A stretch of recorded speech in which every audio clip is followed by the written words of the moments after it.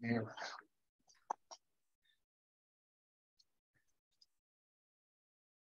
I don't know what that does. Oh, there we are. Okay, good morning. My name is Sarah Fossiltz. I serve as the board administrator for the Texas State Board of Social Worker Examiners. I'll make a roll call. Uh, Chair Brumley, Present. Ms. Andrade, Present. Ms. Graham said she could not attend. Ms. Morris, Present. Morris, thank you. Ms. Mosher, Present. Ms. Romsbacher, Present. Ms. Rogers, Present. thank you. Ms. Science Davila Present. and Ms. Swartz. Present. Thank you. We have uh, met the quorum. I'll turn it over to Chair Bromley. All right, so we have called the meeting to order. It is eight thirty-one.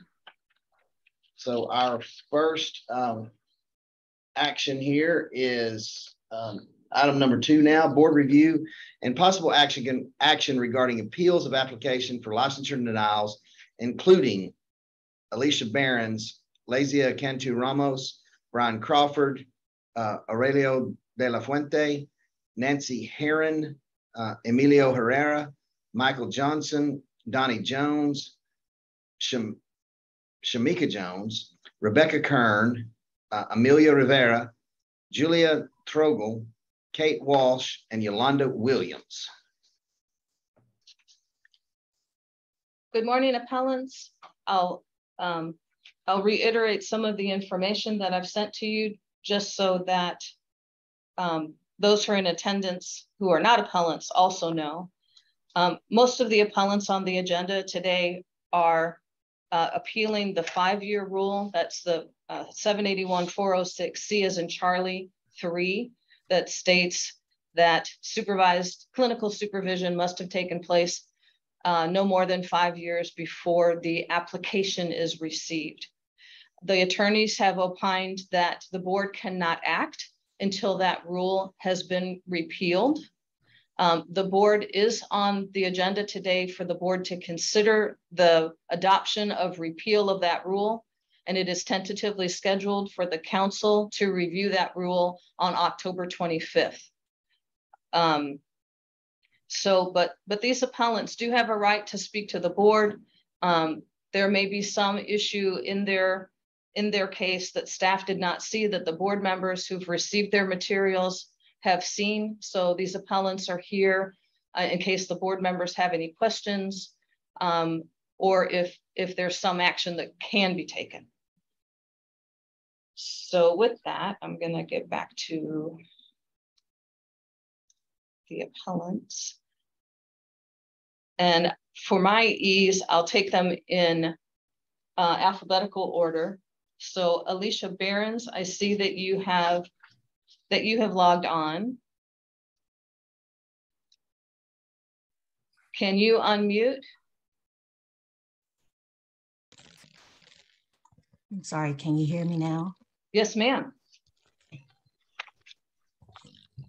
So the, okay. good morning. The board members have received all the materials in your file. Is there anything you'd like to add at this time? Um, I went back and forth uh, whether or not I wanted to write a long drawn out plea as to why I should be granted a license that I worked really hard for and rightfully earned. I'm not going to beat a dead horse whether or not um, explaining my situation when I know that you, uh, the board already has my appeal.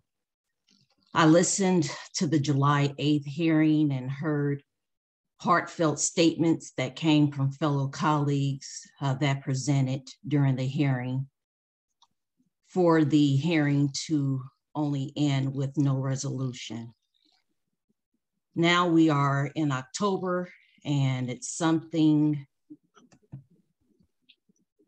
that um, is near and dear to my heart and is really affecting me that this it's come to this and still no resolution um, so instead of me um, just going ahead and beating a dead horse i'll just wait and see what the board has to say at the end of this hearing.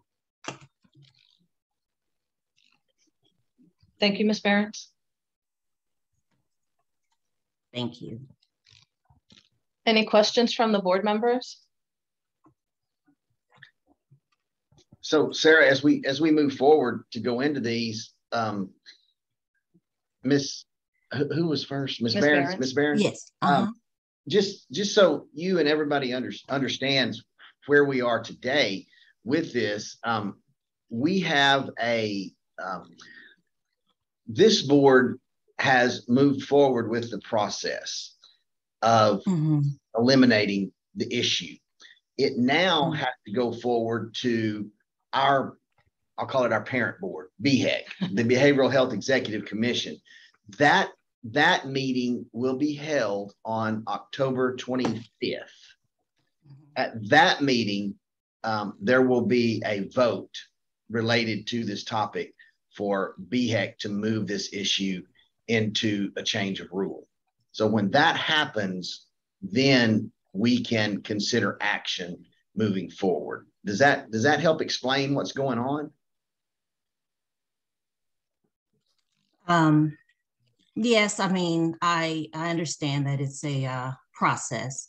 Yes, ma'am. Um, yeah, I do understand that. Okay. Um, I just wanted you to understand that, that, that, um, on October twenty-fifth will be the, the point of action that will move this forward. Okay.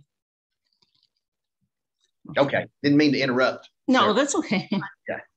Absolutely. So if there are no questions, um,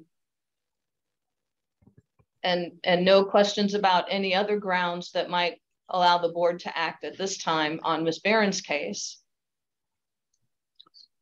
Okay, then I'll move forward to, thank you, Ms. Barron's. I appreciate you being here today. Um, I will keep you informed along with all the appellants um, as to the board's actions today and um, as to the council's actions on October 25th. Thank you. And you'll receive that in email, like I've been sending the updates. Okay, thank you. So Ms. Cantu?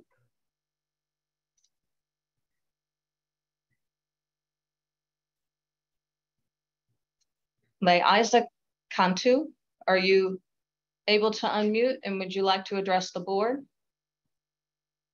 Uh, Yes, good morning. Can you hear me? Yes, ma'am. Hi, um, uh, uh, am I on? I sound like I'm on speaker. Um, good morning. I just, um, I agree with the other person. Um, I can, can say for myself that I submitted my information, um, my verification, and everything in 2018. Um, it just took me a while to pass my test. Um, but I but I did pass it. Um, so I just want to say that you know I deserve the credentials. I studied very hard for them. And and and you know if I want to move forward in another position, I need those credentials. Yes, ma'am. Yeah, that that, that was any everything that I wanted to say. That for the board to consider those people that you know they work so hard um, that they turned they submitted everything um, their information was submitted back when um, it was a different department uh, and now moved to to behavioral executive council So I can speak to um, the uh, many people got caught in that they submitted their application back when we were with HHSC. And at that time, you submitted your application, staff work, looked at your supervised experience. And if your supervised experience uh, satisfied rules, then they would allow you to sit for the exam. Shortly after moving to the council, uh, the council contracted with ASWB to process our exam eligibility um, requests. And ASWB was, was not specifically looking at all of the Texas rules for licensure.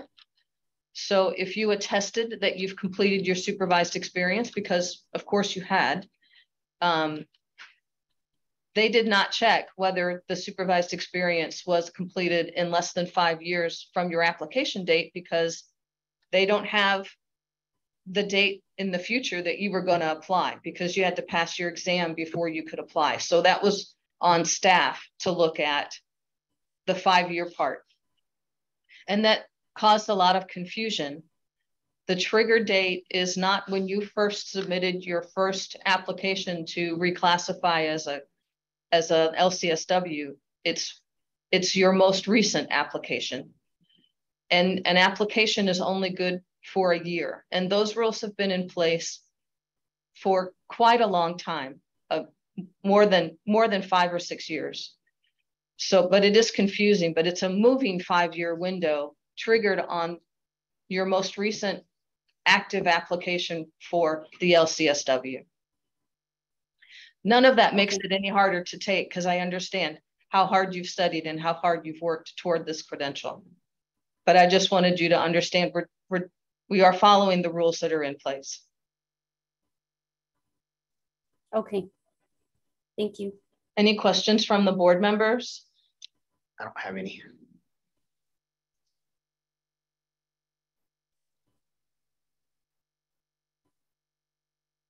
And do the board members or the or attorneys see any grounds for moving forward on this particular case? Uh, after October 25th, I do. Yeah. Okay. So Ms. Cantu, I again with all the appellants, I will send you um, uh, an email summarizing what's happened today, and um, I will keep you informed as to the council's actions on October 25th. Thank you so much for being here today. Thank you.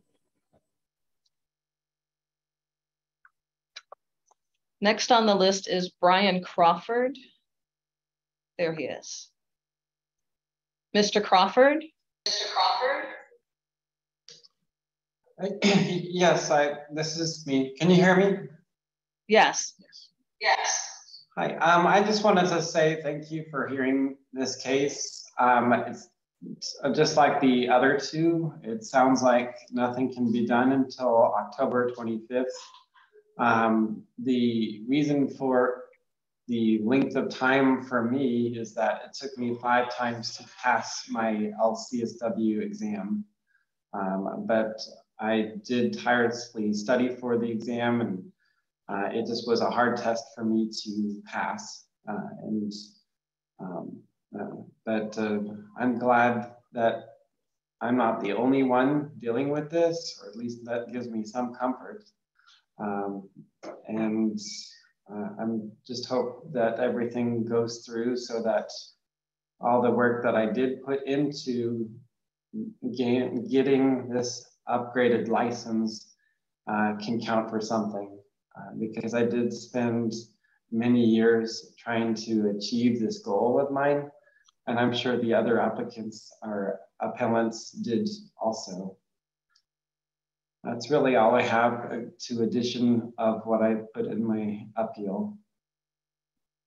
Thank you, Mr. Crawford. Thank you, Mr. Crawford. Board members, do you have any questions for Mr. Crawford?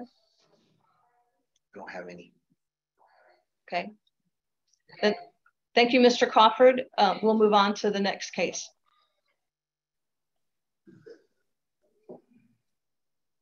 Mr. De La Fuente uh, sent his regrets. He's uh, works with the Veterans Affairs and had a visit from, is planning a visit with the US Secretary of Veterans Affairs at his establishment today. So he sent his regrets. It's in your board materials.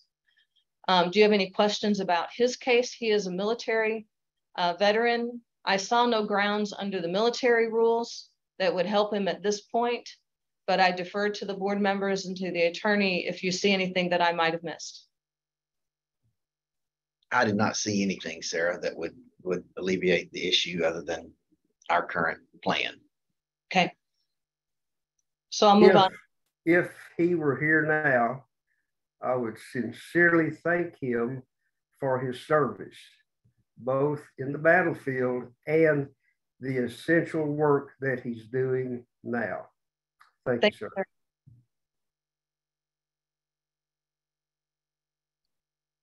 Okay. The next one is Nancy Heron.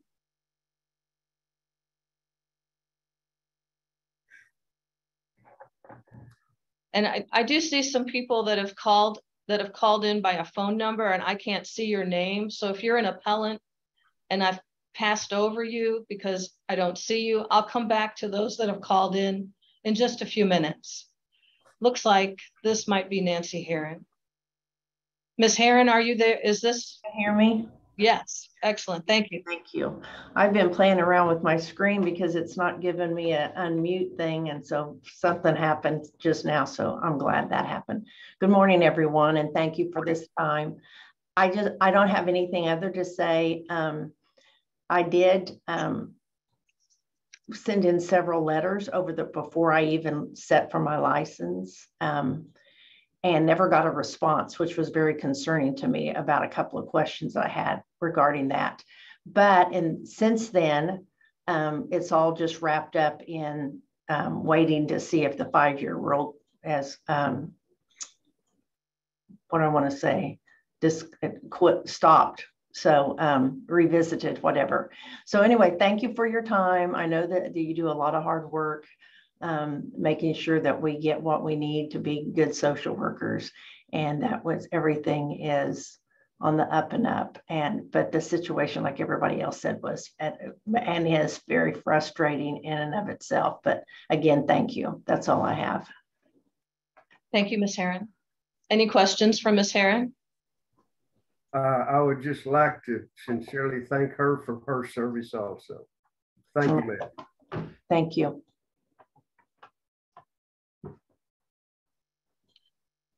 Okay, thank you, Ms. Heron. I'll be sending out um, an email after this meeting. Thank you. Next on the list is Emilio Herrera.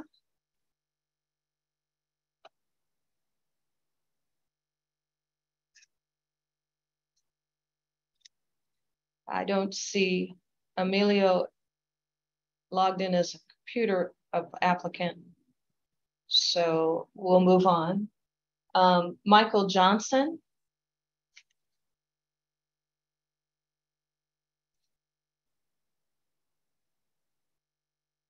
There he is. Mr. Johnson? Yes, good morning. Good morning. Good morning. Well, I'd like to say good morning to the board, uh, to all board members. Uh, thank you all uh, for giving uh, your valuable time to this matter. Uh,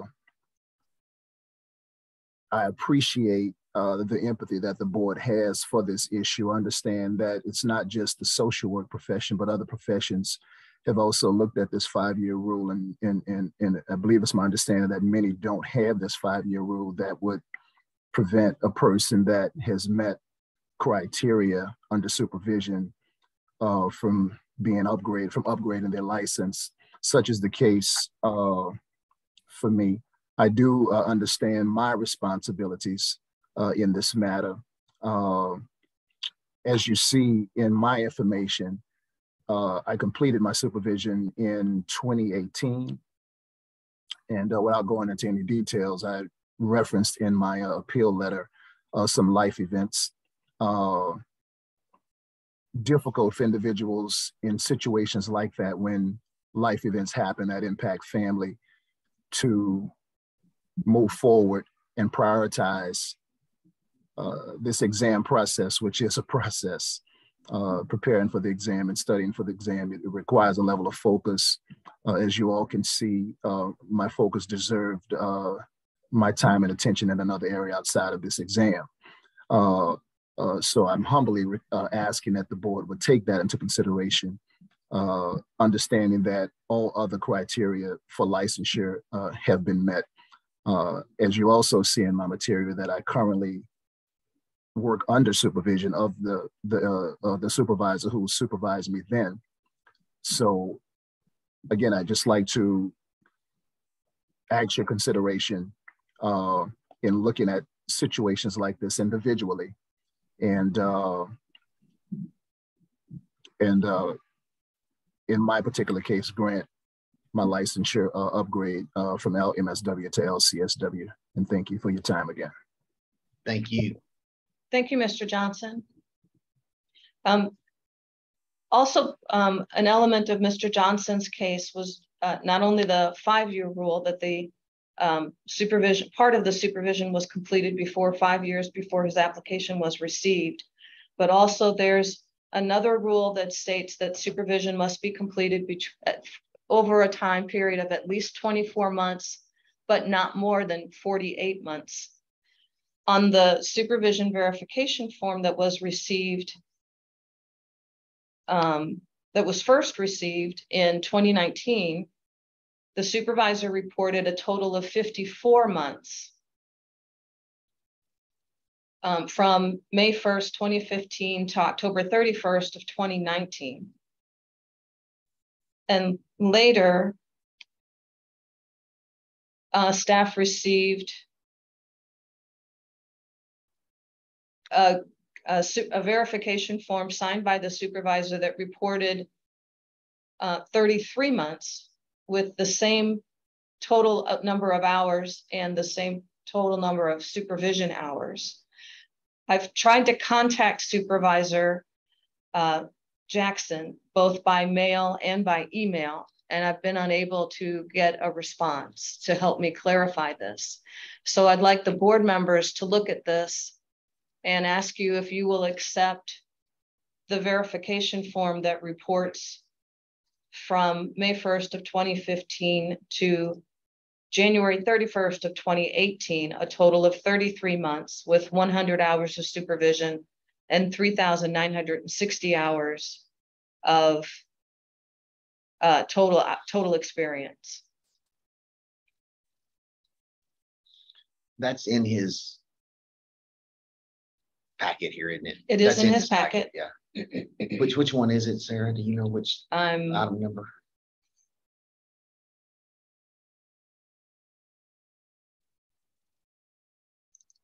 So one of the verifications form is on page 13 of 26. I don't know how it's labeled in your PDFs. I don't know if it's.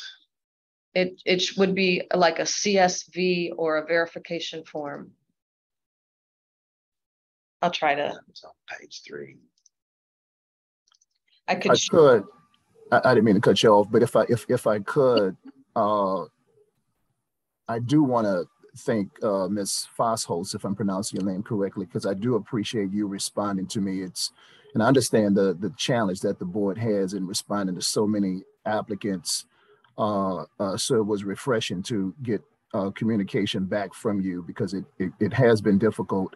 Uh, this is the first time that I uh, have been made aware, however, that my supervisor needed to be contacted about a dispute because the only supervision verification form that I'm aware of and signed is the one that shows the 2018 ending date.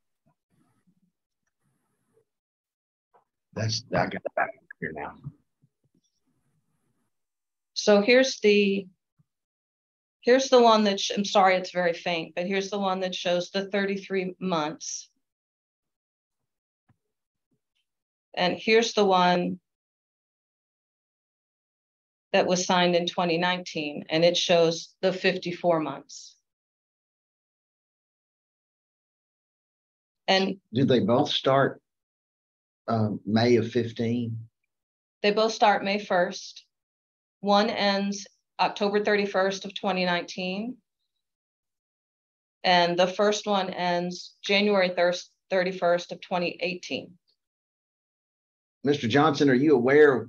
I, I know you just indicated you didn't know there was an issue, to, but do you remember signing both of both of these?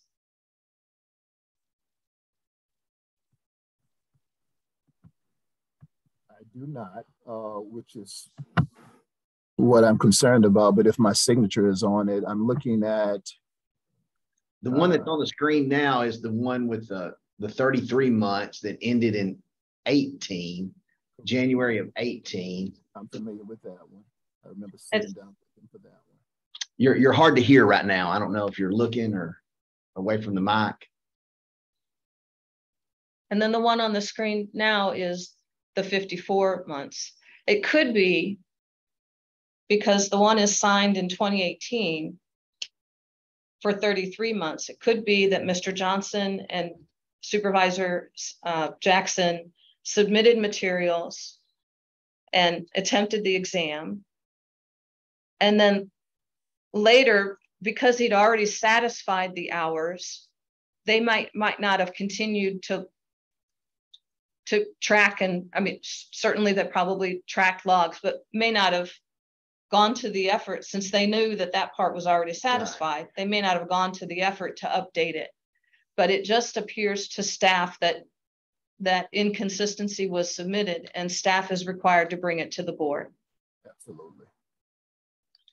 So Sarah, clarify for me here. We have two issues. He he is under the five year issue. Yes. But now the 48, but but we can we can we're not changing the we're not asking to change the 48 month rule. We are changing it on October 25th as well. Not it's it's in the queue, but it's not it's not ready. It's not go. there yet. Okay. So we today But if you if you could accept the first one, if you accept the verification that says 33 months, then, then once Johnson, the five-year rule is removed, staff can proceed. on the 25th. Or, or we can we can vote. We'll vote on the 25th and they'll proceed. Staff can thereafter. proceed thereafter. Okay. Well, I, I will make a, a motion to accept the initial uh, verification form submitted by um, Mr. Johnson, and I believe it was Mr. Jackson This is the Uh, supervisor. as the supervisor um, with an ending date of January 31st, 2018. I'll second that.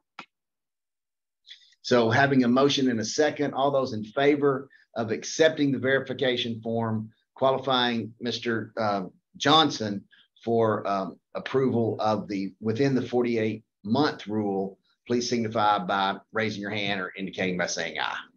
Aye. Aye. Uh, Any opposed? Hearing none, seeing none, the motion does pass. So, Mr. Johnson, um, you'll be now in the same queue as everyone else. You'll be, you'll be waiting on the BHEC meeting for October 25th to see the vote and outcome on the five-year rule. So does that make sense to you? It does, and I appreciate your consideration. Uh, uh, we, many of my colleagues have talked about uh, uh, the time and the dedication that went into this. Uh, it's important during these financial times, these tough financial times, uh, to even appreciate uh, the financial sacrifice that also goes into this. So I strongly appreciate your consideration and uh, thank you for uh, considering the work that I've done. All right. Well, thank you for showing up and speaking to us today. Thank you, Mr. Johnson. So I. I do want to apologize. I didn't want to catch, I didn't mean to catch you off guard with this other issue of the 48 months and the, and the conflicting information we received. It, it's the burden of the supervisor to verify your hours. So it's our policy to reach out to the supervisor for that clarification. Um, but I certainly did not mean to, to give you additional alarm and uh, catch you off guard on that. Not a problem, and I do understand the challenges that you all have and, and and once again, appreciate the work that you do. Thank you, sir.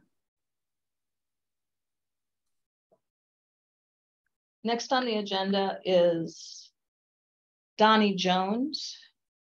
I see a D Jones. Donnie Jones, is, if this is you, are you able to unmute? Yes, can you hear me? Yes. Yes, Yes, it's D Jones, Donnie Jones. thank you. Is there anything you'd like to express to the board? Um, no, just like with everyone else, I I did complete the exam within the five-year period. Uh, mine was specifically the supervision. I was going into a new position at uh, the place of employment, and so stayed in the supervision just because I it provided me uh, extra just experience and knowledge that I was getting from other um, social workers that was also in the LCSW supervision. And so I just extended my supervision, but I maintained the number of hours as stated in my um, appeal letter.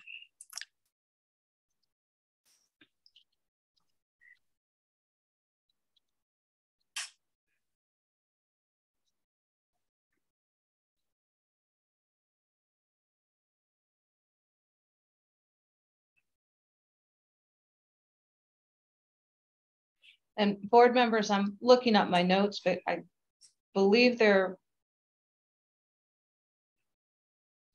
Yeah, so I wanted to confer with you again on the 48 month type of issue. Let me share my screen.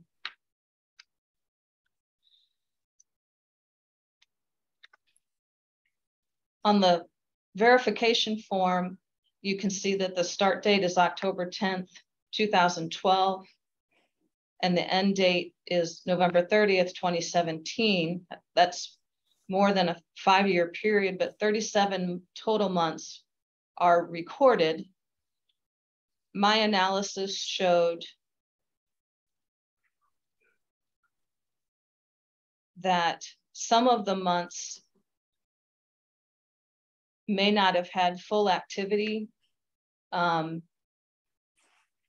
another uh, verification form reported 33 months with the same number of hours. Oh, I'm sorry, I'm reading from the wrong line. Um, so there's a supervision log and sorry, wrong, wrong file. In Miss Jones' file, there's a supervision log and not counting months with less than two hours. Um, it totals 51 months and not counting months with less than four hours per month, it's 28 months. Um, so I'm not sure how to suss out that information.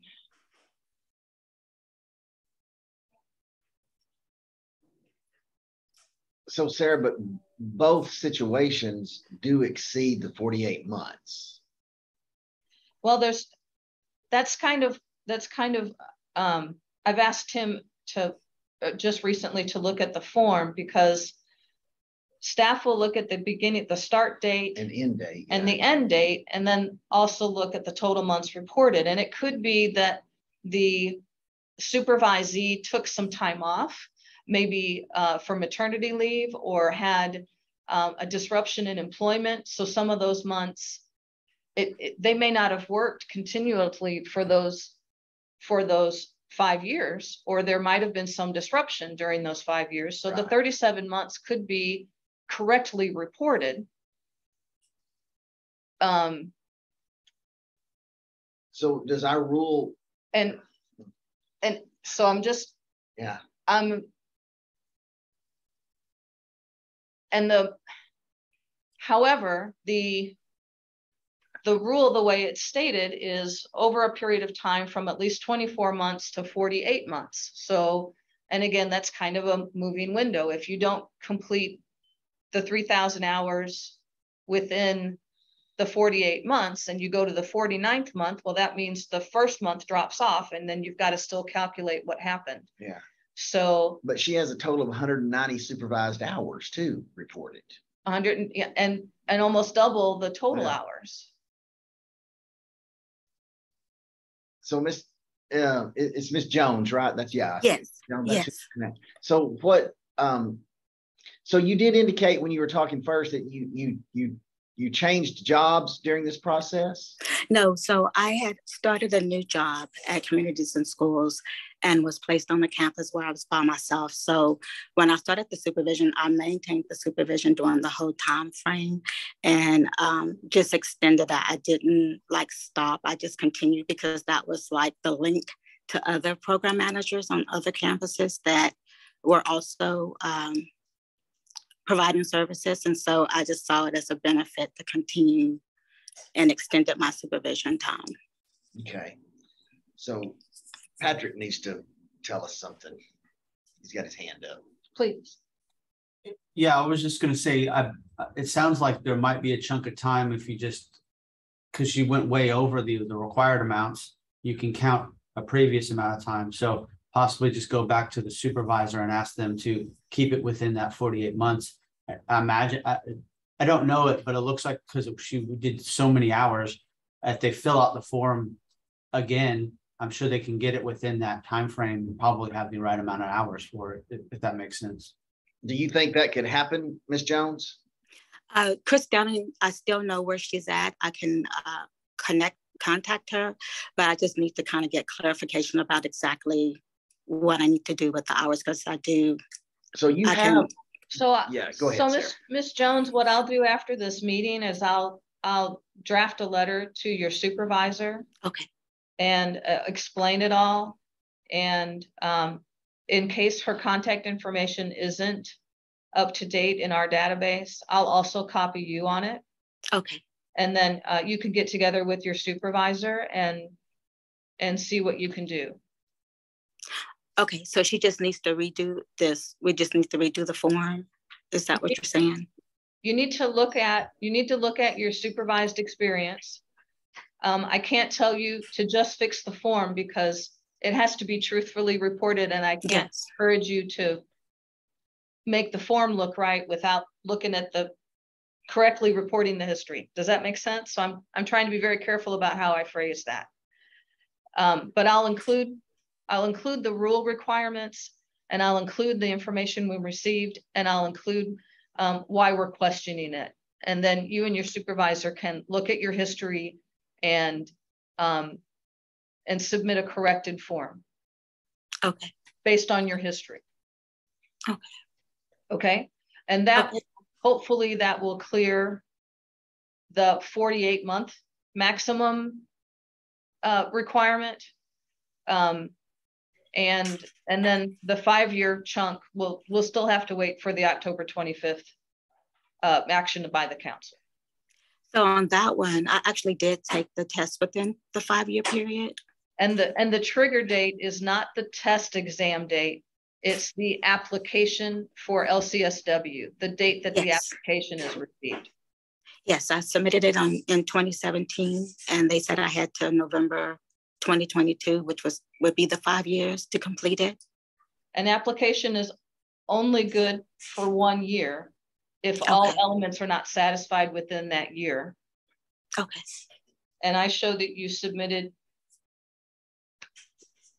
I show that you submitted your application for LCSW, the most recent one, the active one, on August 8th of 2022. After you passed the clinical exam, which is now the correct process. Pass the exam first and then apply.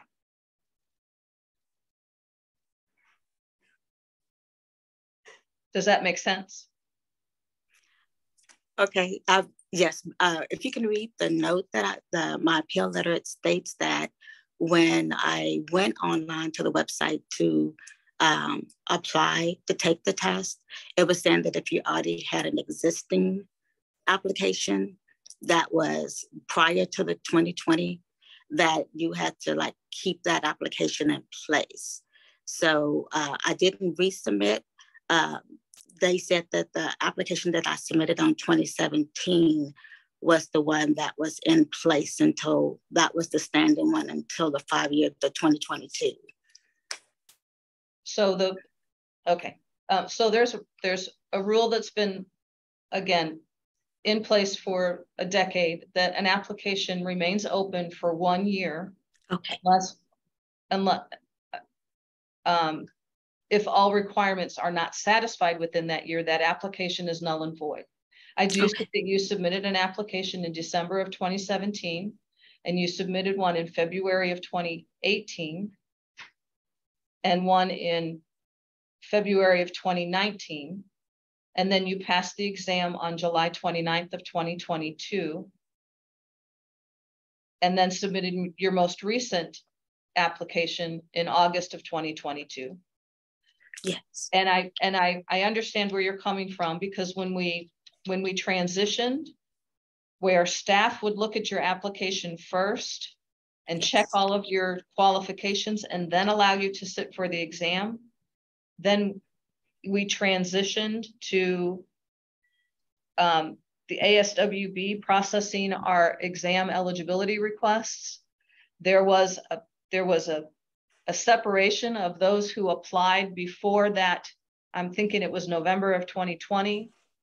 If they already had an active application, one that was less than a year old in November of 2020, they were to proceed with the exam process under that application and continue to get approval for the exam from our staff. But if they had an, an application that was older than a year at November of 2020, then they needed to contact ASWB to sit for the exam. So it may be that staff was trying to tell you, we need to approve your exam part, but that doesn't that that didn't grandfather or keep your application open past that year. It only it only determined what process for exam eligibility you were being segregated into. That's completely confusing. but I think the outcome here is that you're on the right track. Okay. At this point. Is and that- and yeah. just with a little more patience and Yeah, persistence, we're all looking forward to that October 25th date. yes. Okay. So, so you'll get an email from Sarah with, with detailed information about the form, the supervision form, um, and how you can work to remedy the issue at hand concerning the forty-eight month rule. Yes. Okay. Okay, thank you. Thank you. Thank you, Ms. Jones. I appreciate your patience. And I'm making myself a note. So bear with me, supervisor.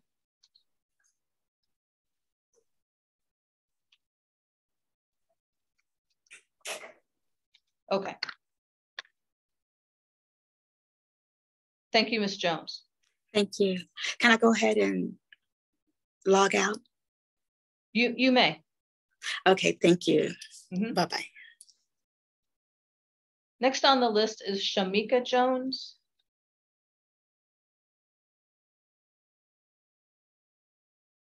I don't see her in the attendee list.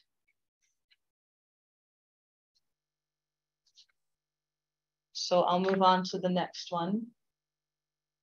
Rebecca Kern.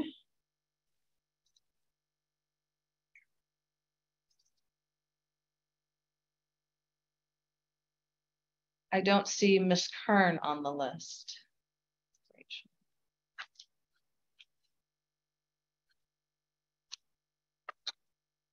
Amelia Rivera.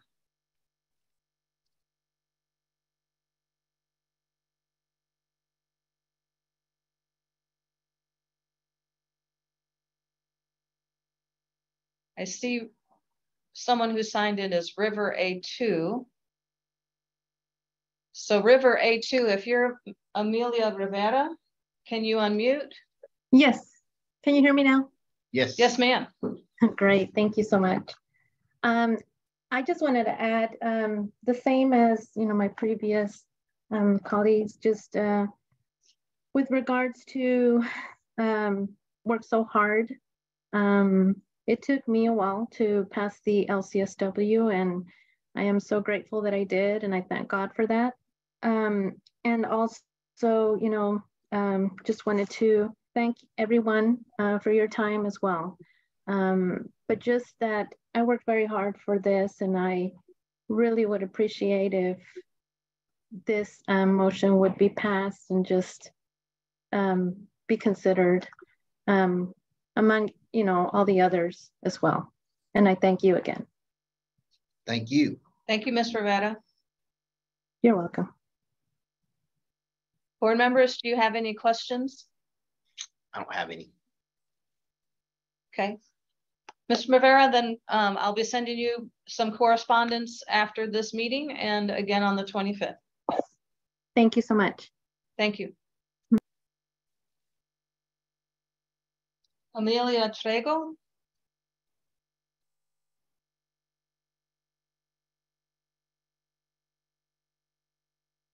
I'm sorry, Julie Tragle.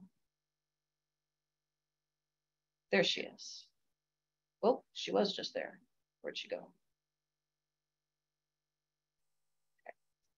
Can you hear me? Yes. Okay, great. Thank you. Good morning, and thank you all for being here. I wanted oh.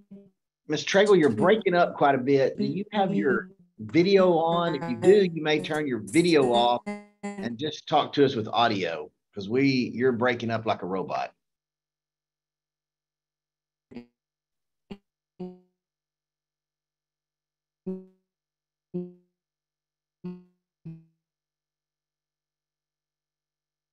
And it, so I don't know if there's two of you, but it looks like you've muted yourself again. If there were any questions, I did submit my application uh, in 2019.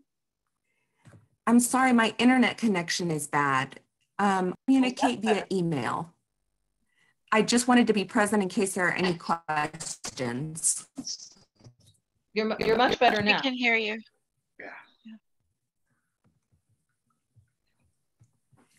I just wanted to see if there, uh, hi, good morning. I just wanted to see if there were any questions. Okay, great. Sorry about that. I just wanted to thank the board for being here and um, I, I did submit my application in 2019, but I- the board received it. So I included um, the emails following up on that application. And um, then COVID hit and it was very difficult to communicate with anyone at the board. And then there was the transition to BHEC, um, BHEC. And um, so I, I passed my exam in March and submitted my application shortly after. But um, I'm, I'm here if you have any questions and I, I thank you in advance for your consideration. Thank you. Board members, any questions? I do not. So Ms. Trogel, I'll send you um, an email after this meeting and again on October 25th. Thank you very much. We appreciate you coming. Absolutely. Next is Kate Walsh. Ms. Walsh, can you unmute? Hi there, can you hear me? Yes, ma'am.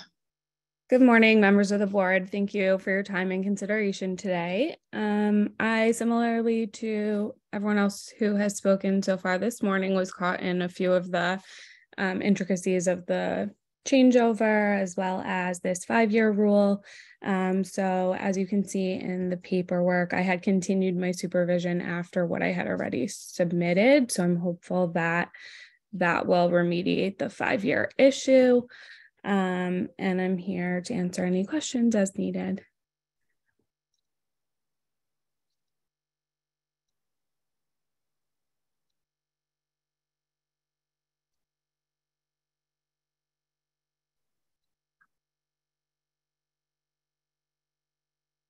And the reason that it took me five years was because I delivered premature twins during um, the pandemic in May 2020, um, right as I was studying and preparing to take it the first time. So it took me a little bit to get back on track. So she will also be impacted by the October twenty-fifth Yeah. plan. Yes. Okay. So does that make, does that, do you understand that what's going on with October twenty-fifth, Ms. Walsh? I do. Okay. So we will um, anticipate that taking place and um, Sarah will update you by email. Okay. Thank you, Ms. Walsh. Thank you. And Yolanda Williams.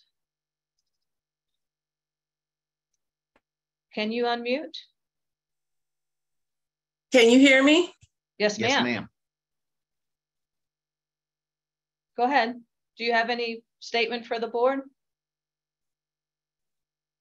Well, you were there. We lost you, Miss Williams. Try again. Okay, can you hear me? Excellent, ma'am. yes. Okay, I would like to thank you all for, for hearing us out. Um, I can identify with, with almost all of, of the, the appellants. And, uh, I just, um, say that the hard work and dedication that we put in, um, deserves to be recognized, regardless if that's five years, 10 years.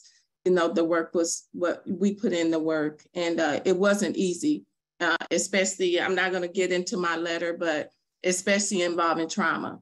I have gone through multiple, multiple, multiple traumas and never stopped pursuing and never stopped persevering. And uh, I did it this year. And so I just thank God and I hope that you all recognize the work that we've put in. Thank you.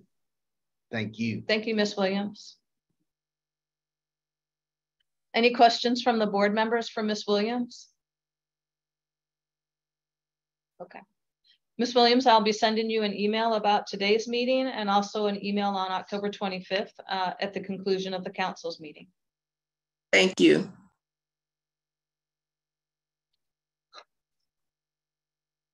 Okay. So Sarah, that was the last one, That was- unless Rebecca Kern, Shamika Jones, or Emilio Herrera are out there in a phone number. So I see Rebecca Kern. Ms. Kern, can you unmute?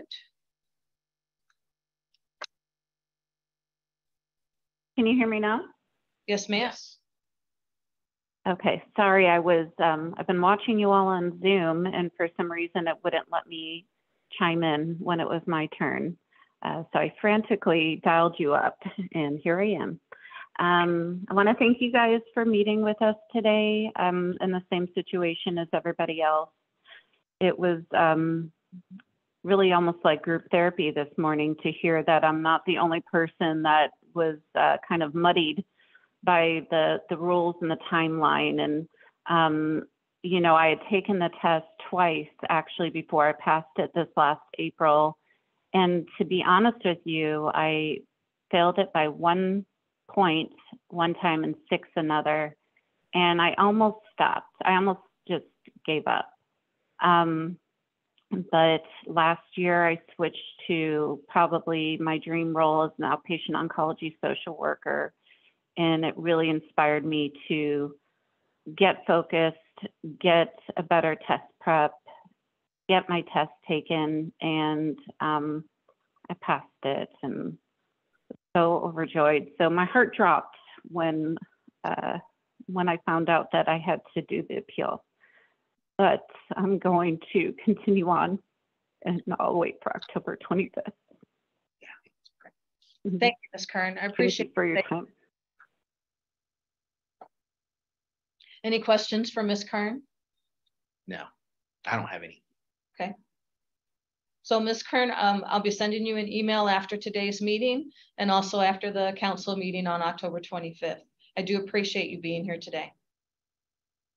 Thank you. So I'm going to check again for Mr. Herrera. And Shamika Jones, I believe was the That was the other one, yeah. Thank you for keeping track. Don't see, I do have a phone number, so I'm gonna ask the phone, the person who called in by phone. Oh, maybe it's gone.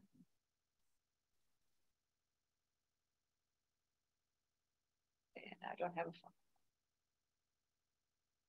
I don't see.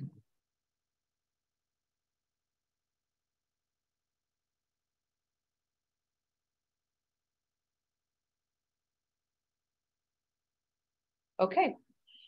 Um, so I believe that concludes um, the appellants. I no longer see the phone number on my list, so it looks like that dropped off. Um, and Mr. Johnson, you have a raised hand. Is there something more you'd like to say to the board? Yes, can you all hear me? Yes, sir. Yes, sir. Yeah, I was wondering about uh, the council's vote on the 25th. Uh, I didn't hear anyone speak to whether or not there was any uh, reason uh, that might have been proposed uh, against the against accepting your proposal to rescind the five-year rule, uh, which so many people uh, hanging on the balance of their decision. Just wondering, is there an argument out there that's against it? I can, I hope, let me try to, I'll, I'll, try to help you out, Mr. Johnson. So um, I also will be, I will be at that meeting um, representing the social work board. And um, typically when, when a member board of BHEC supports a change, um, there may be some questions about why we're doing this, but typically our support is also supported by the larger council. So I, I do anticipate that it will pass. I do not have any um, kickback from anyone at this point to me saying that this is not a, a plan that should go in place. So hopefully that helps alleviate, alleviate some of your concerns. And I'll ask Attorney Patrick or Attorney Andrew. Um, so it, I believe in statute that the if the council rejects a board member recommended rule, the council has to provide rationale. The council is to look at the rule in regard to uh, any, what's it called? Uh, anti-competitive trade yeah. uh, issues. And we don't think this rule will fall under that. The, there's a, Sarah, if, if I can piggyback on that, there's a BHEC rule that talks about whenever a rule is submitted from an uh, underlying board to the underlying board to the council, there are things that it can be reviewed for. And then if if it is sent back, you're correct. It would say, you know, why why they're sending it back uh, to the board. Um, and uh, there's there's criteria that they'll look at when they review a rule. So it would be, you know, for anti-competitive effects or for good governance, th things like that. It's all spelled out in the rule. Uh, but um, um, I'm not as we sit right now, I'm not aware of anything right now that that the that the council has against this particular rule. And this rule has been before the council as a proposed rule and was published. So presumably the council would have voiced any of those objections and an at their earlier review. And Sarah, correct me if I'm wrong. I don't believe we received any comments in, in opposition to this rule change, did we? That's correct. There's been no comment to the contrary. Uh, comforting to hear, and I certainly appreciate you guys uh, providing that information. Thank, Thank you for you. your question. Excellent. All right. So, Sarah, I believe that con concludes agenda item number two. Yes, sir. And we will move to agenda item number three, board review and possible action regarding agreed orders to be executed by the board. We have a hand raised from Kate Walsh. Do you want Oh, to take that question? I'm sorry. So, um, and while I was reading, Kate Walsh raised her hand. We'll go ahead and take Ms. Walsh's question and then we'll move forward. Ms. Walsh, can you speak? Yes, can you hear me? I'm sorry. Yes. So just to clarify, um, my understanding was that my application was also denied because just the first several months um, or the first three or four months of my initial verification had expired, those supervision hours. And so now I've submitted additional um, continuation, which I completed after that fact. So I just was not sure whether that um, remediates the situation prior to that meeting. I was hopeful that it might. You can see that the um, dates continued. So staff was not able to move forward. The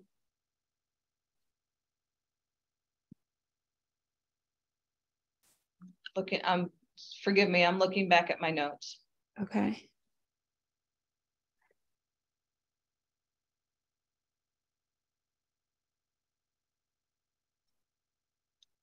That's still that's still only a nine. That's not at least a 24.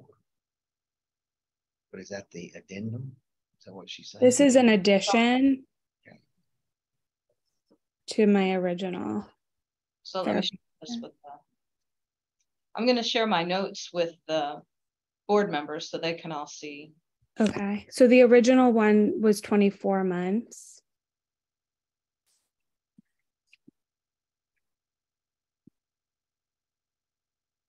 So it was twenty-four within a two-year period. Hundred and three hours. And the, And then there was the The- delay of, so we, Taking the what we exam. don't- what we don't know is how many hours were accrued before August of twenty seventeen, which is the only date we can accept them beyond that date because of the, the date of our application.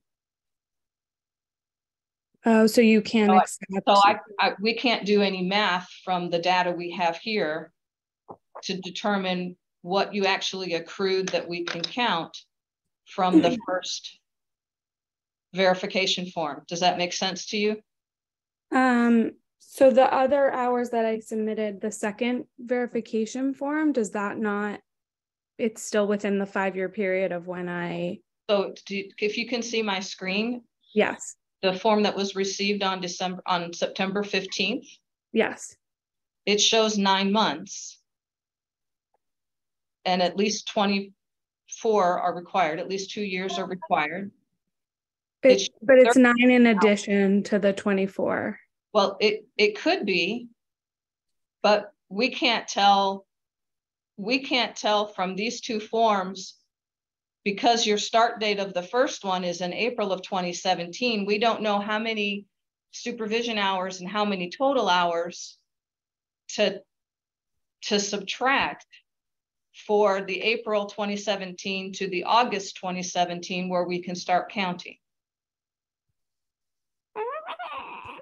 So let me put this in an email to Okay, your supervisor and to yourself okay, with the rules and with what we've received and, and where our conundrum is. And I'll ask for you and your supervisor for clarification. okay. Thank you very much. Thank you. I Thank you, appreciate Ms. you asking. Okay, sorry about that. no worry.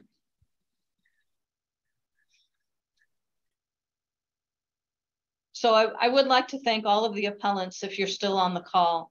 Um, thank you very much for attending today. It's important for the board members to hear your experiences and understand um, all the, all the hard work that you've put in. Um, they know it because um, most of them, uh, uh, six of the board members are professional members and have been through a process similar to yours.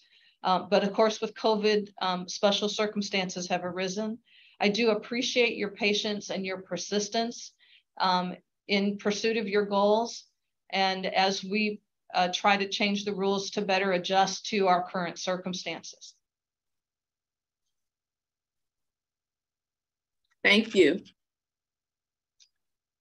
All right, seeing no further hands raised, we will now move to agenda item number three, which is board review and possible action regarding agreed orders to be executed by the board.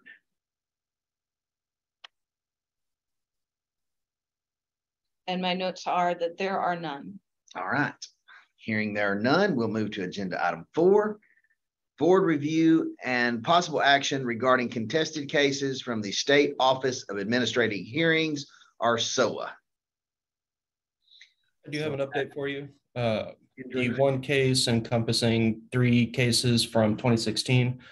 uh, The licensee did voluntary surrender the license, um, so those cases are going to be closed. And uh, the only outstanding SOAH case I have is a license denial case um, that will be filed um, either today or early next week. Uh, So the agreed order and executive director execution of the orders uh, process is very efficient in moving these cases forward. All right. Thank you for your work. Thank you, Andrew. All right. And Patrick, you didn't have anything on that at all? Um, so, okay. All right. So number five, agenda item number five, uh, report of agreed orders executed by the council's executive director. That was in your meeting materials. Um, be happy to try to answer any questions that you might have had on those cases. Anybody have any, any questions on those that were included? Seeing no hands or nobody, we'll accept those as submitted.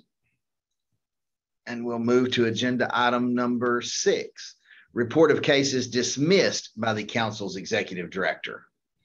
Those are, And that report was in your meeting materials. Yeah. I'll be happy to answer any questions.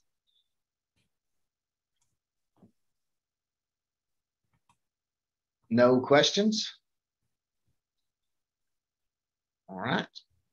We will move to seven, status report of quarterly enforcement case activities.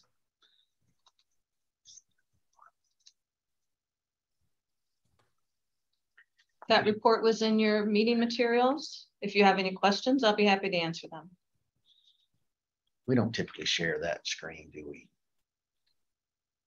That's the mm, status report. I status- can share that one. Yeah, we can just, I'm, I'm asking Sarah just to share that screen just briefly so the public can see the, the hard work that they do go through and um, see some of the numbers that, that we do deal with. So um, it's got basically a year's worth of information there.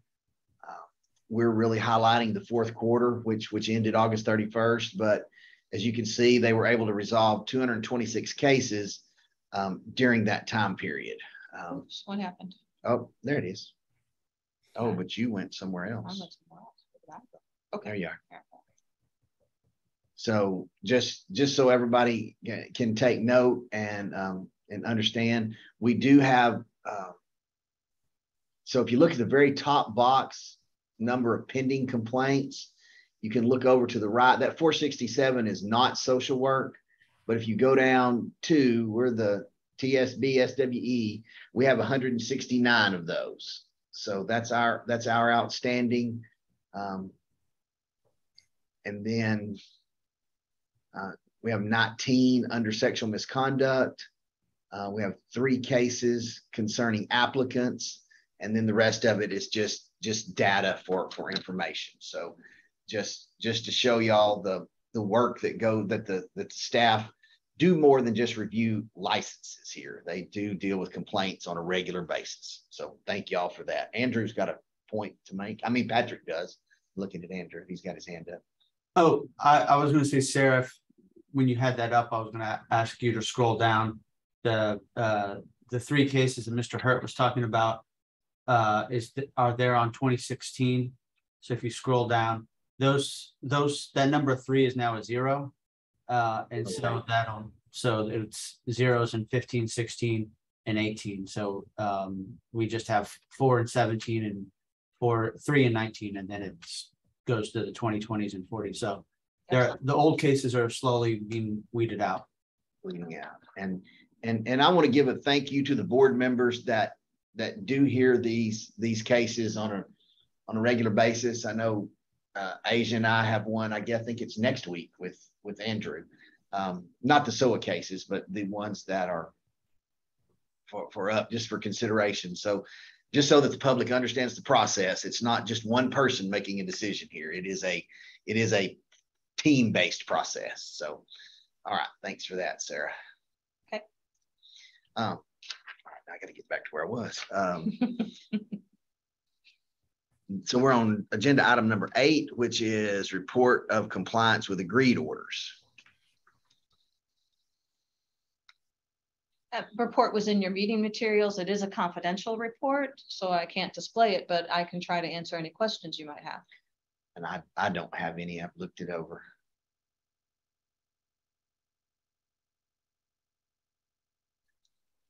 Anybody have any questions?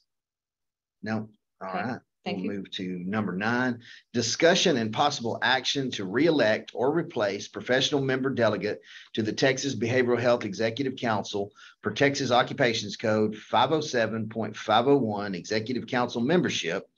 Brian Brumley, LMSW IPR, whose term as delegate expires February 1, 2023, per Title twenty-two of the Texas Administrative Code eight eighty-one point four mm-hmm. council member terms. So all that to say this, my, my term as a professional member from this board to the larger BHEC board is coming up. And um, I will, I will say I don't mind remaining on that. And, but if y'all would rather someone else be in that place, uh, the- it is now open for consideration.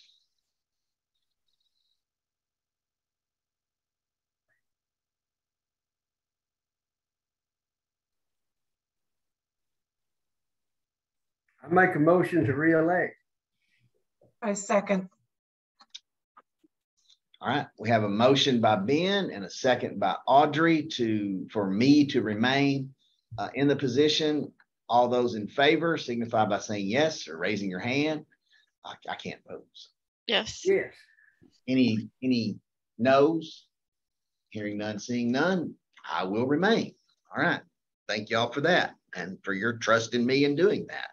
Thank you. Um, so agenda item ten, discussion and possible action concerning posting of board guidelines for using social media and boards guidelines for electronic practice on the board's forms and publications webpage. That's in there too somewhere. Would you like to see one of those? Sure.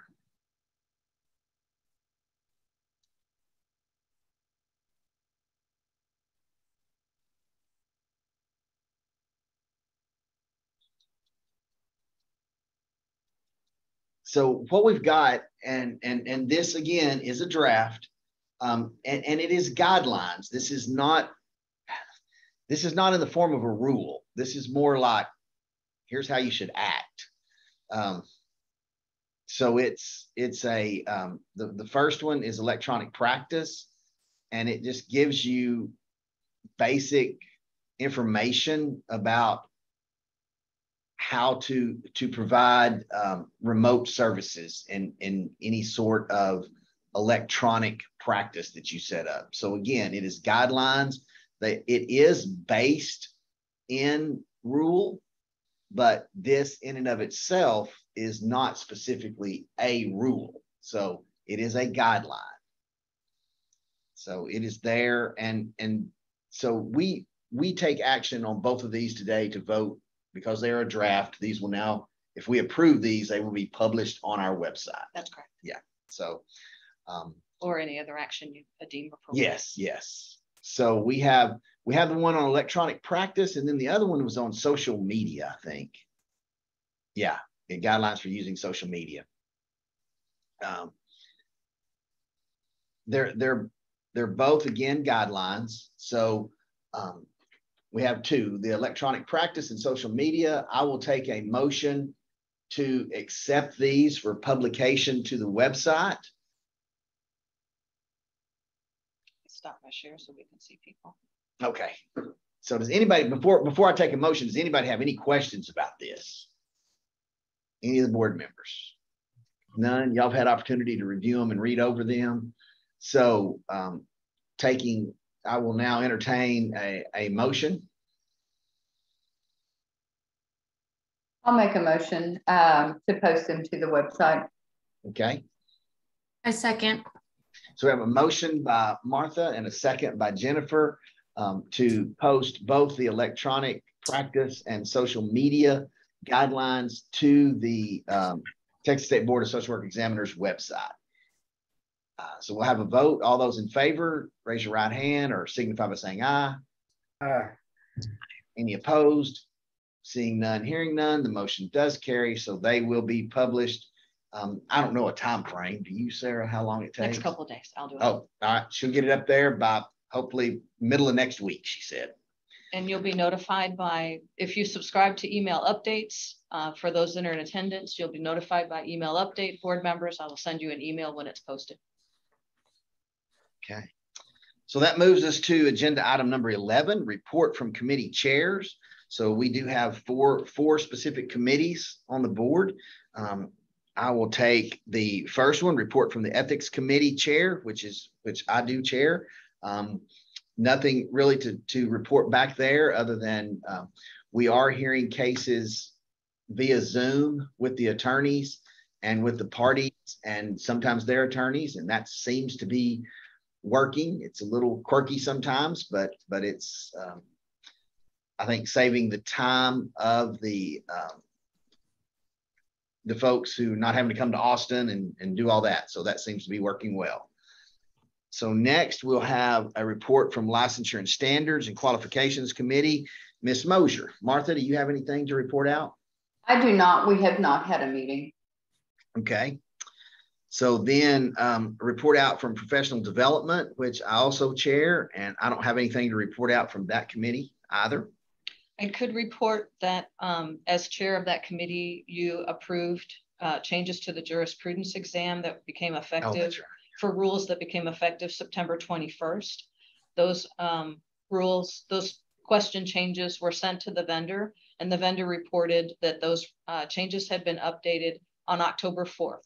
So anyone taking the jurisprudence exam after October, uh, after that time on October 4th will now have all of their questions up to date um, with our current rules. Okay. And then um, a report out from the Rules Committee uh, from Ms. Mosier. Anything there? Yes, uh, the Rules Committee, we did meet on August 19th, um, and we had several things that this board will now be considering for the full board uh, consideration. So we did discuss a possible rule change and kind of reorganization uh, related to the LMSW scope of practice and conditions of supervised experience. So we have referred that in 2023, there will be a full review, if I understand all this correctly. So y'all, Sarah and Patrick um, and Andrew, y'all correct me if I'm wrong, but in 2023, there will be a full review of our rules. And so we've recommended this be considered at that time because it's kind of a big um, area to undertake and, and look at that and cross all of the rules and statutes. So for right now, nothing is, is nothing will be considered under the rules committee or with this board until that review has occurred. And then um, we did recommend rule changes um, with related to 781.401 qualifications for licensure and 781.404, which is recognition as a council approved supervisor in the supervision process. Those are on this agenda under 12A and 12B um, that we'll talk further about as we move through the agenda. And then we did recommend um, a new 781.421 um, that was a remedy for incomplete license requirements to provide some flexibility in the event of disasters uh, for people to be able to move more smoothly uh, through the licensing process. And I believe that, yes, that is on our agenda for further consideration for y'all to see what those recommendations are momentarily. And I think, Sarah, did I leave anything else out from our meeting? Nope. Okay. Got it all. All right. Thank you, ma'am. So, Sarah, Patrick, if, if I have a um, suggestion to make to the Rules Committee for a future meeting, would I do it here in the agenda or during my report in the agenda? Or in the future activities. Let's do it in future the- activities. Okay, we'll do it there. So, all right, so that does complete uh, the report from committee chairs for everybody.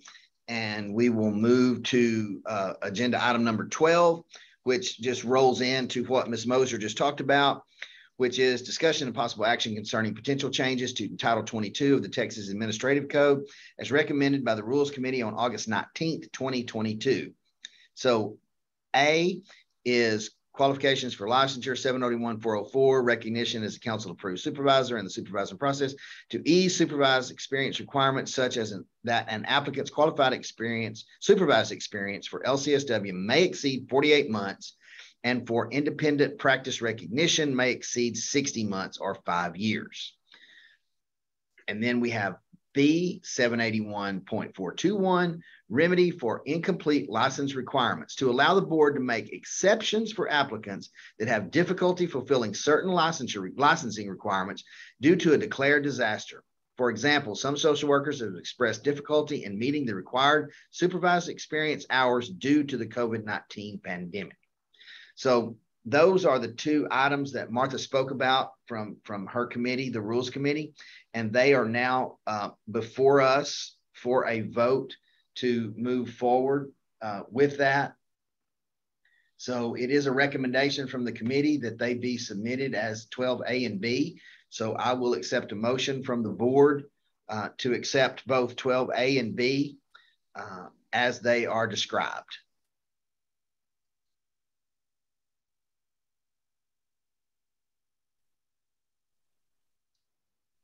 I make a motion to accept changes A and B as described. Okay. I'll second. Okay, I don't know, some, I think that was Martha who I heard. So Audrey made the motion. I got a second from Martha. So all those in favor of changing 12, uh, agenda item 12A and B as proposed in the agenda, please signify by raising your hand or saying aye. Any opposed? Hearing none, seeing none, we will now move to agenda item 13. Discussion and possible action regarding Rules Committee's request for board approval to informally gather stakeholder input concerning crisis intervention experience and related continuing education. So Martha, do you want to talk about that?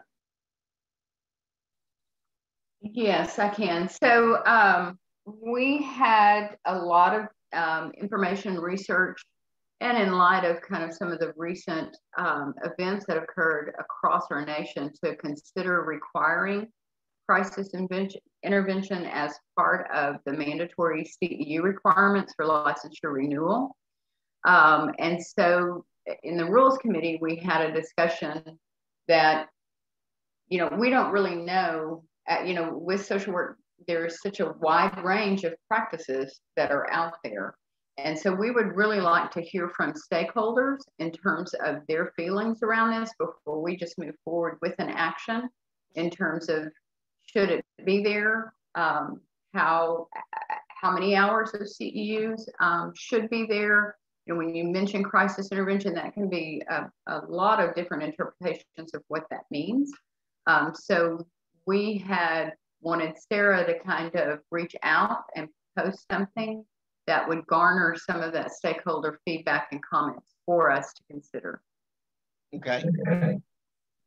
So what could be the plan for that to happen, Sarah? We just put it out on our website that we take input? So or? if you approve the draft today, mm -hmm. then yes, I would work toward building a survey instrument and um, a posting on our website that would link to the survey instrument and then the survey instrument would gather that material back um, we'd set a particular deadline for the closing of the survey and and then come back to um, the rules committee with the results of that survey for any recommendations the rules committee might make to the board. Okay.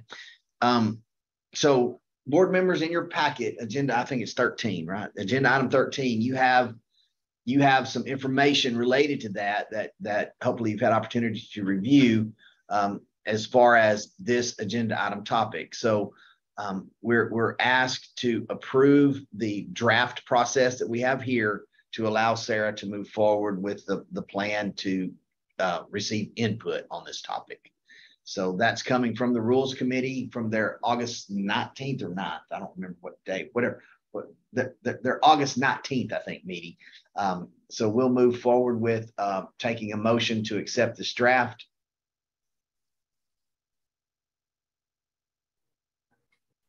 I make a motion to accept the draft. Okay, so we have a motion from Jennifer and a second from Dolores. That's yes. that's okay. And uh, all those in favor signify by raising your hand, saying aye. So agenda item 13 is approved, and we will um, ask that this be um, moved forward as reported. Okay, Agenda item 14, discussion and possible action related to staff recommendation for changes to 22 Texas Administrative Code 781501 requirements for continuing education. To expand the list of providers from which licensees must obtain at least 50% of their continuing education hours to include a hospital or hospital system, including any clinic, division, or department within a hospital or hospital system, and to add the effective and to add effective date for subsection F as January 1, 2024. Is that correct? 2024? Yeah. Okay. So that's that's um, in your in your packet as well. So if you had opportunity to review that. So so this is not at all saying, when I first read this and looked at it, I thought it was saying we had to get it from a hospital, but it is not at all. It's saying that hospitals are now included in the overall provider list. Is that basically the? In the list of providers from which the licensee must get at least fifty percent. Right. Of their yes. Of their stuff. Yes. yeah. But it's not saying it that they have to go. They the hospital, they don't have 50% doesn't have to come from a hospital. That's correct. Yeah. That hospitals are included in the list. So Attorney Patrick, you want to explain? Oh, sure. Um, and the other part of it, to make the effective date in, in, as this has gone through the process of going through with the other boards, something that I believe that came up with the LPC board was making it an effective date because subsection F is essentially going to be the one that's going to be the kind of the change that's not necessarily something that is that, well, technically it's a, it's, it's the rule now because we did change it, but um, it might be the part that that people may not have in the past been been following, and so we wanted to put a future effective date to make it fair and easy for people to comply, so they don't get caught off guard. And so that's why we we just picked a date in the future as January first, twenty twenty four, so that it's not people have plenty of notice with the two year renewal cycles of when it when so that they're able to comply with this. And and speaking with with uh, I think it was the LPC board uh, and, and some of the comments received, a lot of the idea behind subsection F is you're looking at larger organizations where there's a certain amount of vetting and and uh, they have sort of a system to create sort of good uh, continuing education programs. And a hospital, a hospital system, sort of fell in line with the general framework that's already in sort of F. So we thought it would be worth to add them as somebody that you know, could be included in that that 50% uh, part of the rule. And and Patrick, this also falls in line with some of the standardization stuff that's going on over at BHEC, right? Correct, correct. And these these changes are being brought up with all the other boards as well.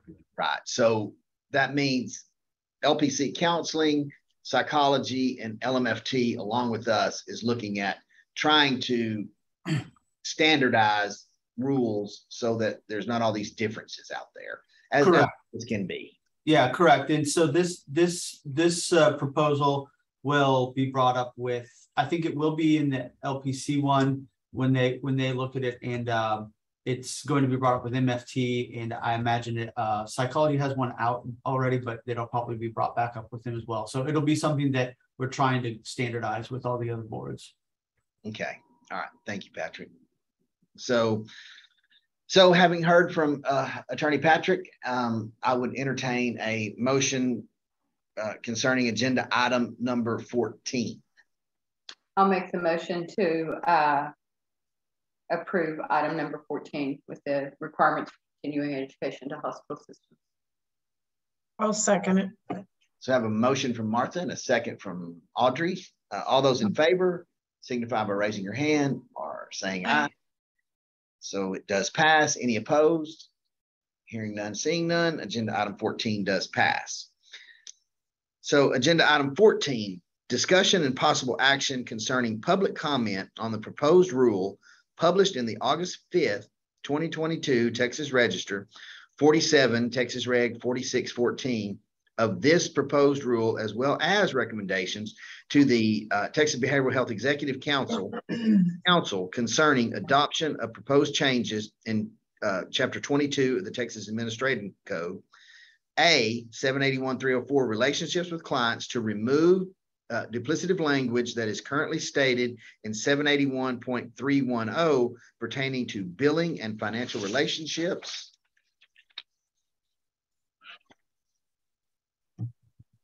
Um, 781-401, qualifications for licensure to remove the requirements that supervised experience must be obtained within five years immediately preceding the date of application for specialty recognition. C, 781-405, application for licensure to correct a typographical area error, error D 781 406 required documentation of qualifications for licensure to remove the requirement that supervised experience must be obtained within five years immediately preceding the date of application for LCSW. E, excuse me, 781 803 severity levels to make the rule clearer and simplifying the guide, but combining levels two and three into a supervision for any amount of time.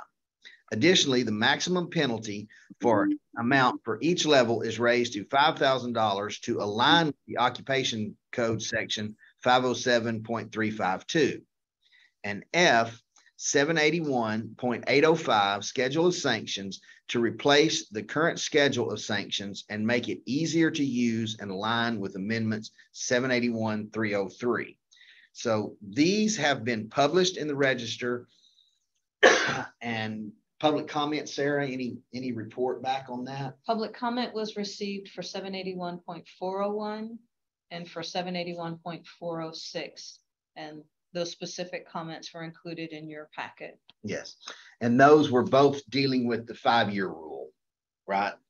The four oh one and four oh six. Four oh one was, um, uh, removed, I thought those were already removed for four oh one.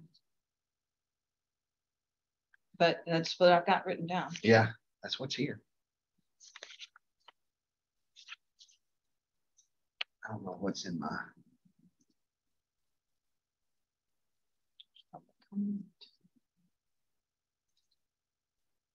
So here's the rule.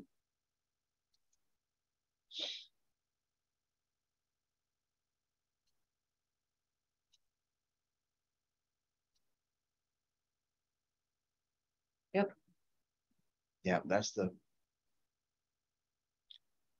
five-year thing.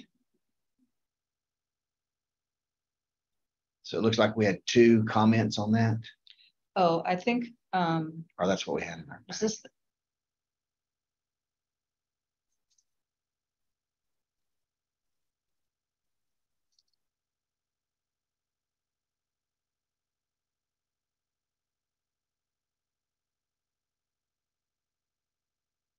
Yeah, so the, the clinical supervision was already removed from this rule. This, this, um, this, uh, publication was removing it from the independent practice recognition.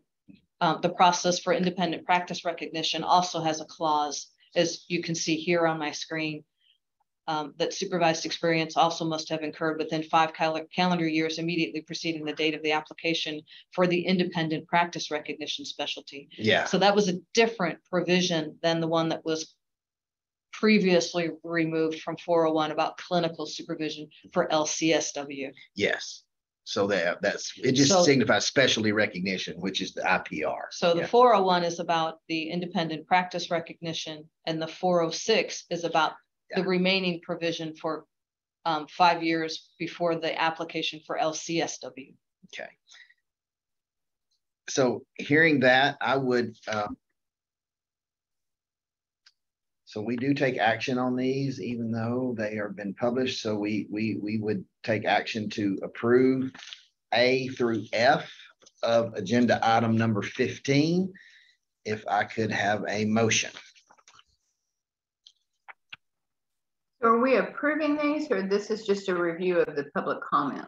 Well, it It's a- says it's a- action. It's a review of public comment, any discussion you might want to have about the public comment. uh, um, When, when the adopted rules are, if, if you recommend adoption and if the council agrees with the adoption, the adoption rules are published. And in the preamble with the adopted rules is a response from the board on the public comment that was received. Correct me if I'm, if I'm wrong, Attorney Patrick. So if you have any response to the comment, now would be the time to express it to Attorney Patrick for that Okay. purpose. Cor- Correct, and this is making a, a recommendation to adopt, to, by the, making a recommendation to the council to adopt these. So we would, we would need a formal action from the board recommending adoption of these rules, rule, proposed rule changes. And then the council will take it up on the twenty-fifth. Okay. So, and I know the public comments that we did receive were in support um, of these rules. Um, so I will make a motion to recommend these to the council for adoption. So are you recommending all of them, Martha? Yes, I am. Okay. So we have a motion by Martha. I need a second. Have a second by Dolores. All those in favor of approving um, agenda item fifteen A through F signify by raising your hand or saying aye. Uh, any opposed? Hearing none, seeing none, we will move forward with approval of agenda item fifteen. Um, Sixteen, agenda item, discussion and possible action regarding jurisprudence exam. So we know it's been updated as of October fourth. So that was earlier this week, wasn't it? And in your, in your packet is a report from the vendor and include uh, examinees' comments and um, uh, their data. I, I didn't find anything remarkable on that report, but I'm happy to answer any questions if you have any questions.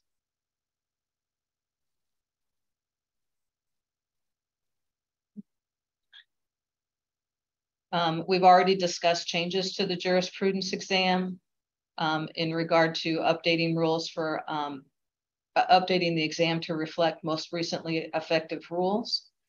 Um, and staff asked that the board consider um, the timed function, the timer inside the rule. So currently when an, when an examinee is taking the exam, the question is displayed and they they cannot complete their answer for 25 seconds. Um, my understanding, I was taught that this was put in place so that the examinee didn't just click through the, all the possible answers and just whip through the exam without really reading the material. Um, uh, and, and in the discussions, um, I believe with the standardization committee and with staff, um, staff had asked the board to consider that. I did note that the vendor, um, we have a, a large pool of questions and the vendor pulls 126 questions from that random pool for a particular exam. And I multiplied 126 by about 25 seconds and we get 52.5 minutes for just sitting through the exam. The current CE rules give, um, allow a licensee to claim one hour of credit for completing the jurisprudence exam. Now they might take a little bit longer because there's some, you know, what type of license do you hold or are you a student or some of those questions are part of part of a survey that's included in the exam. So it might take them a few minutes longer than 60 minutes to actually complete it. Um, or if they're having to read through the statute to find the answer, that might take them longer as well. But the timer on there makes it at, at least 52 and a half minutes long. So what do you, know? if we, if we took the timer off, we would ethically, I think, need to remove the um, awarding of CEs, right? I mean, because we wouldn't have any way to know how long somebody spent in there. And the and the vendor has has uh, advised me that they currently don't have the capability to see a particular person's start and stop time on the exam, and a person can start the exam, shut it down, walk away from it, do a session or two, come back a day or two later. And so they really don't have a, a way to say how many, how, what the duration is for a particular examinee. So they couldn't give me an average time or a median time for that it takes. That it takes. All I can, all I can surmise is the minimum based time. on the time. Yeah, yeah, we get a minimum. So Patrick has something to say. Yeah, I definitely didn't want to suggest to to get rid of any uh, CE credit for it because that was something part of the standardization committee had looked at, and everybody's sort of gone with giving one hour of CE uh, credit for taking the jurisprudence exam. Okay. Um, I they, they didn't hire me for my math skills, so I, I was under the impression that it it they were required to sit in front of the computer longer than an hour when taking the jurisprudence exam. So I don't I trust Sarah's math more than mine, uh, uh, and may have gotten that wrong. And Tim, if you if your math is better than mine, you may chime in. But I thought they had to sit in front of the computer for more than an hour, so that's why we staff was saying it didn't seem fair to only award an hour when we made them sit in front of a computer and take a test that they couldn't complete. They they they had to spend more than an hour to complete. So, but if my math is wrong, again, don't don't trust my math. Go with Sarah or Tim's math over mine.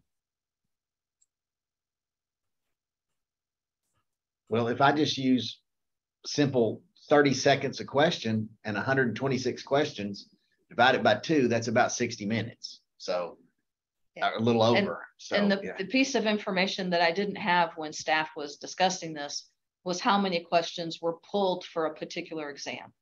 Uh, The only information I had at my fingertips was how many total We're there. pool. Yeah. we're in the pool for, for, for plucking. So any thoughts or Tim. input, anybody? Yeah. Is that Tim talking? I don't know.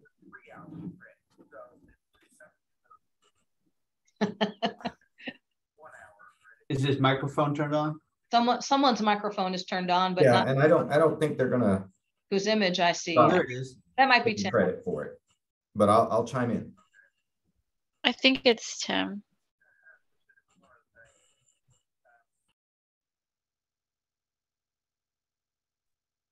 Yeah, Tim, I think you need to ma- restate what you were saying because nobody heard you.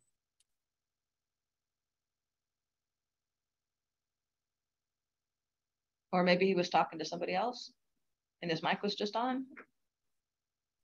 I'll go check Sarah. Hold on. Thank you. Sorry, So- I was, uh, I was on the phone. Daryl had just called, asking me to, uh, chime in with a little reminder. Originally, the, uh, JP exam counted for three hours of continuing education. And so that's why the timer was put on there was to make sure that people were, uh, staying on there long enough. Um, I don't believe the other programs have a timer on their, uh, questions. And They so don't. they also get credit for the JP exam without the timer. So you don't have to have the timer on there to be able to give credit for the JP exam. Okay. Well, then hearing that, We have two board members out of camera, oh, we do but we still have a, we still have a quorum. three, four, five, six. Uh, There's Ms. our- Romsbacher's back. Okay. Okay. So, um, hearing that, w- I would take, um, in, in any discussion on sixteen C um, regarding removing the timed function. I know it has always been the majority of the complaints on the public comment about having to sit there and do nothing for twenty-five seconds. So, um, any, any input? Yeah. And since LPC, LMFT, and psychology do not have the timed function, and we're looking at standardization, I don't, I don't have any qualms against moving that way. If anybody wants to make a motion in that sense. I'll make a motion to remove that timed function. It seems to make Second. sense. Okay, so I have a motion from Martha and a second from Dolores. Dolores, yeah. So all those in favor signify by saying aye, raising your hand. Any opposed of removing the timed function? Hearing none, seeing none, the motion does carry and pass. Okay, so we will move to agenda item number seventeen, uh, which is my report concerning current challenges, accomplishments, lawsuits, interaction with stakeholders, state officials and staff, committee appointments and functions, workload of the board members, conferences, general information regarding the routine functioning of the board. Um, I know we will have um, public comment later. I'm sure you're all aware of the ASWB data analysis that was released um, a couple months ago. Um, I will be attending um, the delegate assembly in November, uh, where that will be the topic of discussion. Um, also serving on uh, a committee with ASWB, the uh, Regulatory Education and Leadership Committee, which is looking at um, how data is used, obtained with ASWB to create um, the exam in its current state. So there's there's there's lots of opinions, lots of discussion about that out there right now. Um, we as a board uh, do not have anything on the agenda today about that other than public comment. So uh, there's there's my input about the uh, data analysis from ASWB. Um, the NASW conference is next week uh, in Galveston. I know Sarah's attending. I'll be attending as well. So anybody who wants to come by and have a discussion we'll be somewhere you can find us. Um, don't know how much we'll be able to talk to you, but we'll be happy to meet with you and, and listen at, and do our best to help with any information that you need about um, seeing us face to face, talk about CEU changes, talk about rule changes, anything that, that you want to discuss with us.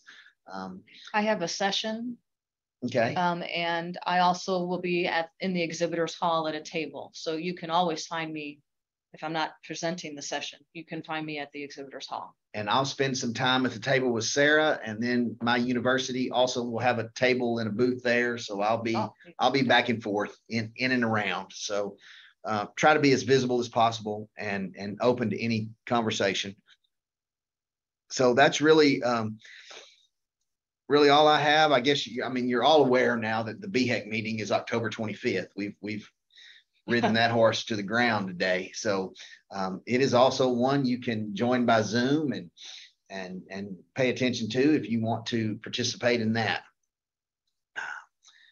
All right. So now we'll uh, that and that's all I have on agenda item eight, uh, 17. So we'll move to 18.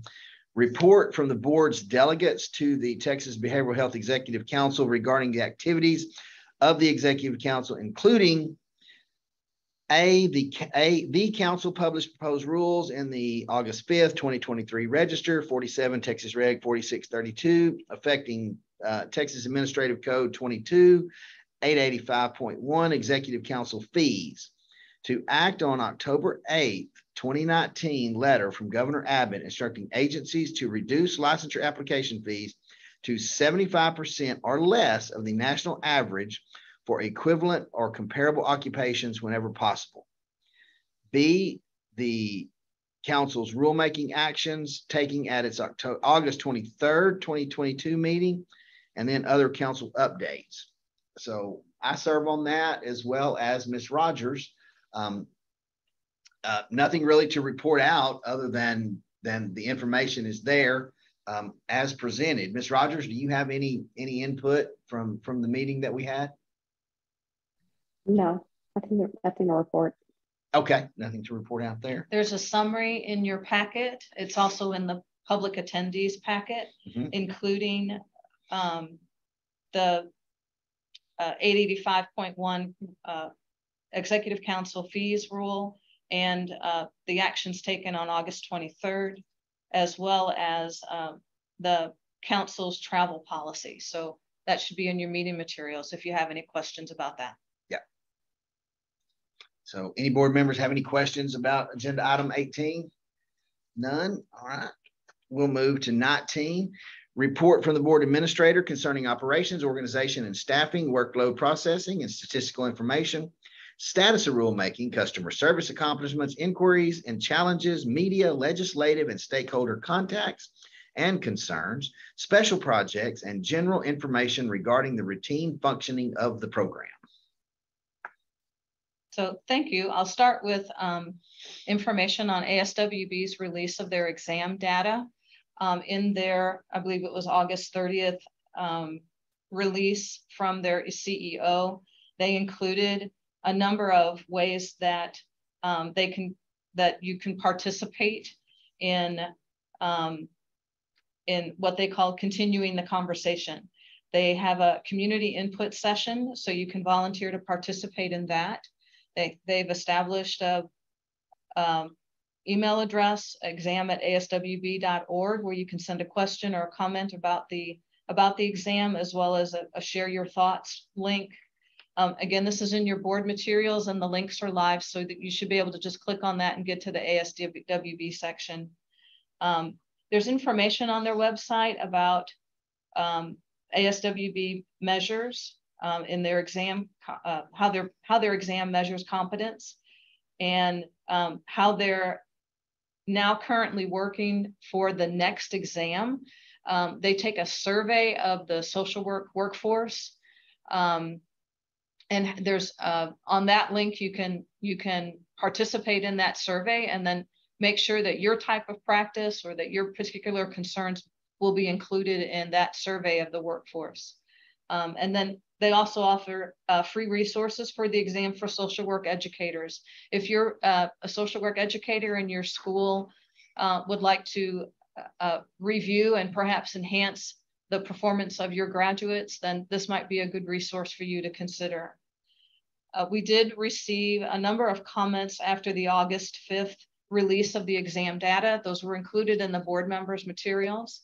As is usual, when written public comment is received, uh, it's provided to the board members, but it, it is not read aloud in this meeting, just um, that's our, our, our, policies, but the board members have reviewed that. Um, it's also been shared with ASWB because ASW, as a member of the association, this board was asked to share any feedback that we received. Um, let's see. Update on the social work compact. The language is out there for review. Um, uh, so there's, uh, you, you can comment, stakeholders can comment on the language. The next step is for the uh, compact folks to revisit the language and make any, just like we do with our rules, they get com public comment and then they make any adjustment to the rules uh, before they then present that to the state legislators. So it would have to be the Texas legislature to review that a, a bill and enact that bill into law for Texas to participate in the compact. And then a certain number of states have to do that process and enact the compact into law for the compact to take effect. Um, so there's a ways to go on it, but it is progressing. Um, so just wanted to update you on the update you on that. I think that's that's all for my report. Um, oh, I do want to thank Brenda Skiff and any staff that may have assisted her. The uh, statute on our statute and rules webpage, the rule, rule books were updated September 28th. We did send out an email message to those who subscribe to email updates. So if you'd like to get those kind of messages, please visit our webpage uh, on the right-hand side for, the, thank you, Ms. Skip for uh, email updates and follow that subscription form and get subscribed to that so that you're informed about that. And I think that's all for my report, unless you have any particular questions. Anybody have any questions? I just want to thank Sarah for putting that information together. I know it's a lot. You're quite welcome. Thank you. All right, so we'll move to agenda item number 20, which is discussion and possible action regarding future priorities and activities of the board. Um, anybody have anything they want to talk about or discuss? You wanted an item for the yeah, I, I do have one. Um, so Martha, I'd like for um, your group, the rules committee, to look at um, Board Rule 781 404A2. Uh, it, it states in that rule clinical supervision of a licensed master social worker in a setting in which the LMSW is providing clinical services. The supervision may be provided by a licensed professional counselor, licensed psychologist, licensed marriage and family therapist, or licensed clinical social worker or psychiatrist. The supervision is not related to qualification for licensure. this supervision is not related to qualification for licensure, practice specialty, um, a disciplinary order, or a condition of new or continued licensure. So, um, oh, that's not it. 781 40, 40 Did I say it? Did I do it wrong? You say 404? 781 404. This is why we want to reorganize them. I think this is what you wanted. Yes, that's the one. Yeah. So that's the, the supervision. So, and Patrick, you may can chime in here. That that last sentence there. This supervision is not related to qualification for licensure, practice specialty, a disciplinary order, or condition of continued license. So I've had folks reach out to me and, and, and say this might be a little confusing because in one sense, it looks like that someone who is under clinical supervision can have someone from one of the other boards supervise them. But then you get to the last sentence and it said it is not related to a qualification for licensure. So what exactly does this mean? My understanding is that if I'm an LMSW, if I have a master's license, Uh-huh. I can work for an agency providing clinical services as long as the oversight of my work is done by an LPC, a psychologist, an LMFT, an LCSW, or a psychiatrist. But none of those hours would count toward my supervised experience for clinical toward an LCSW license. Okay. Section subsection three or subparagraph three. If I want to qualify for a clinical license as a master social worker, I have to be under a clinical supervision with an LCSW, a, a licensed clinical social worker who has supervisor status. And I have to then be providing that clinical services under, Under that, that clinical supervision plan. So if I'm a master social worker and I'm not looking to gain the clinical social work license down the road, I want my career to be just master's category, then I can provide clinical services as long as I'm employed by an agency or under contract with an agency, not in my own private practice, but I have to be, I, I use oversight instead of supervised because it's confusing. Yes. But my work has to be overseen um, with by one of these other professionals. Um, and and in another rule, it talks about the the responsibility for the welfare of the client cannot be my own entity or my own agency. It has to be an agency for which I am employed or or have a contract with. Right. And that's that that is my understanding as well, Sarah, and that's how I've always interpreted that. Um, however, I think some of this could be more clearly stated. And if I'm recalling correctly, in our August 19th meeting, this language about LMSW, the supervision scope of practice, whether they can be contract or whether they have to be employed by agencies, that is what we recommended um, be included in that 2023 uh, review Okay. to maybe better clarify all of this for an LMSW and what settings and what supervisions they're under. All right, thank you, Martha. That's that that was just my question there. That's I wanted to see if we could get that cleaned up some because it Right. does I agree with you. yeah, it does leave a little room for confusion with the word supervision in there. To me, it does anyway. Right. And then there are other parts of those rules and statutes that kind of sort of say the same things, but maybe a little differently. So for that language to get very consistent across here was our recommendation out of the August 19th meeting. Okay. All right. Well, thank y'all for your work on that. So, and and Patrick, do you have opportunity to talk here about what that 2023 review is? Is that something that you guys are doing internally, or is that with all four of the sub boards? Yeah, so every agency is required to do a rule review, and I forget, I think I want to say it's every four years, but I'd have to double check that. And so you have to review all your rules, make sure that they're valid and and it's a good time to do cleanup to make things sort of clearer.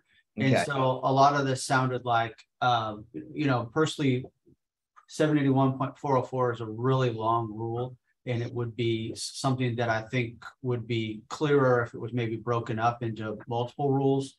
Um, so that a rule review would be a great opportunity to do that, where you basically what you're saying is take a rule, the existing rule, but make try to make it clear, structure it so that um, you know, you parse it out a little bit easier so that people can understand it. And um, uh, that's one of the functions of a rule review. And so it might be good for that as well as other rules because Okay. some of these standards are in other rules as well. And that's what would make it difficult is if we changed what's in seven eighty-one point four oh four, we may need to look at, I think, four oh, uh, no, it's three oh one, I think, as well. That talks about some of the roles of the different level, the different, the master's level or clinical level social worker. So um, rule review opens up all those rules.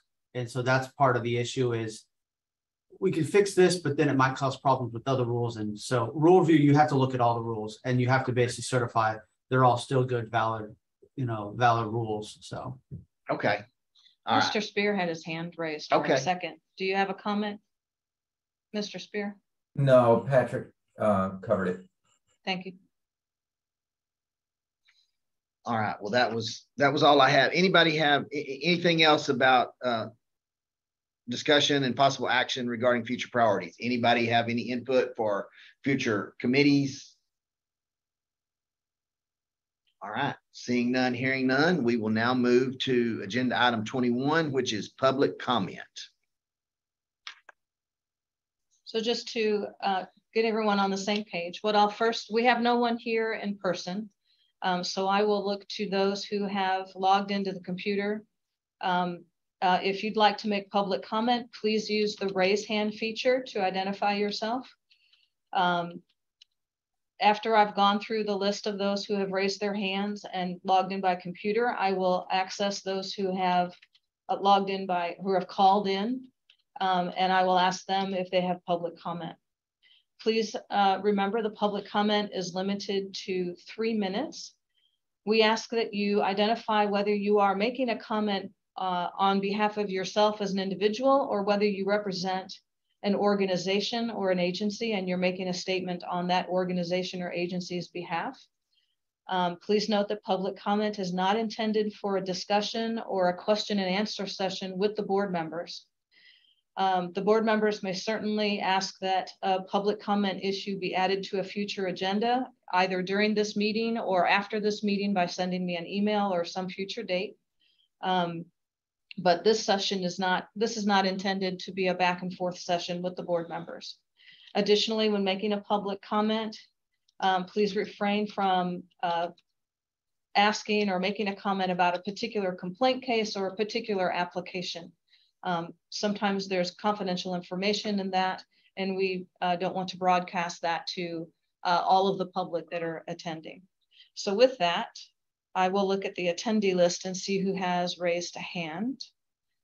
And I see uh, Mr. Francis of NASW Texas. You have public comment? Uh, Thank you. My name is Will Francis, and I'm the Executive Director of the National Association of Social Workers Texas chapter. I'd like to thank the board for their work supporting the profession.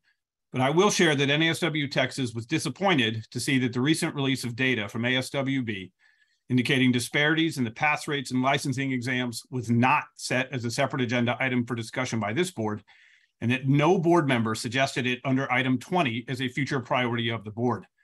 Our chapter released a draft report assessing the Texas data, which we will share with board members and the public. The findings in this report counter Chapter 505 of the Texas Occupations Code, the social work statute, which states that the exam must be fair and impartial. This board has an obligation to not only protect the public, but to utilize their power in regulating the profession to ensure that the laws that shape social work are being enforced. The data shows discrepancies around age, gender, and primary language, but I would like to explicitly highlight the disparities in race and ethnicity regarding the eventual pass rate in the master's and bachelor's tests. In Texas, 83% of all test takers eventually pass the master's exam, but 94% of white applicants pass, while only 64% of black applicants pass. The bachelor's results are even more shocking. 68% of all test takers eventually pass this exam, which is actually well below the national average of 81%. But 85% of white applicants pass, which is over the national average, while only 48% of Black applicants pass. This data is not indicative of an impartial test and should not be interpreted as a sign that any group of people is less able to practice social work. Rather, the, social, the Texas examinations are a red line preventing diversity in our profession. The board and stakeholders must act now. NASW Texas is recommending that the board place a moratorium on all bachelor's and master's examinations until ASWB can provide evidence that the test is fair and impartial for Texas test takers. Barring an immediate moratorium, the board should instruct BHEC to charge a one-time fee for taking the test at every level, including clinical, even if people need multiple attempts to pass it. The board should conduct a study into alternate licensure paths outside the examinations, looking into modifying or reviving the AMEC program. And persons or groups that charge a fee for test preparation should consider a moratorium on their fees until ASWB can show the tests are fair and impartial. This board cannot sit by while the law in is three likely minutes. being broken. Sorry, Mr. Francis. Thank you. Um, next one is David Marsden. Mr. Marsden, you Yes. have public comment? Yes, I do. And, and thank you for your time. And I, I want to say um, as well, I appreciate the work of the board. I think you guys do amazing things. I love how you consider individual circumstances. But I do want to say that I think long term, our board would be smarter to develop rules that we all feel good about, that work in unique situations, and then stand by those rules, as opposed to developing rules that we feel like require constant flexibility and constant reinterpretation based on individual circumstances. Thank you very much for your time today. Thank you, Mr. Marsden. I see no other hands raised. But I do have two callers. Caller, do you have public comment?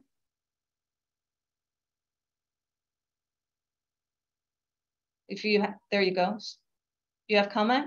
I, yes, my name is Geraldine Hayes, and I'm actually one of the appellants who is waiting for October uh, 25th.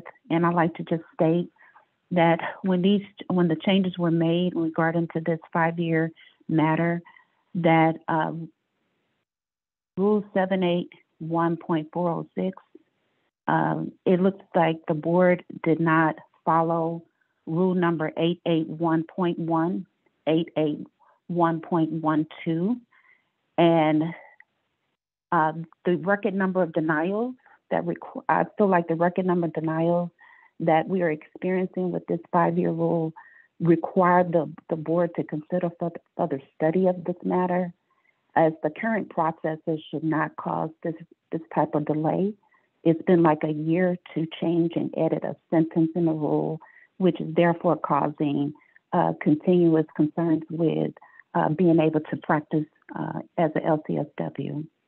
Uh, I, however, I just want to just make a, a comment to the rule committee. I'm elated to hear that the rule committee uh, is proposing to have a rule mechanism to allow for allowances for uh, social workers impacted by disaster situations. So I'm happy to hear that part. But I really think that the board should consider further study about a record number of denials uh, for persons seeking LCSW. Thank you. Thank you, Ms. Hayes.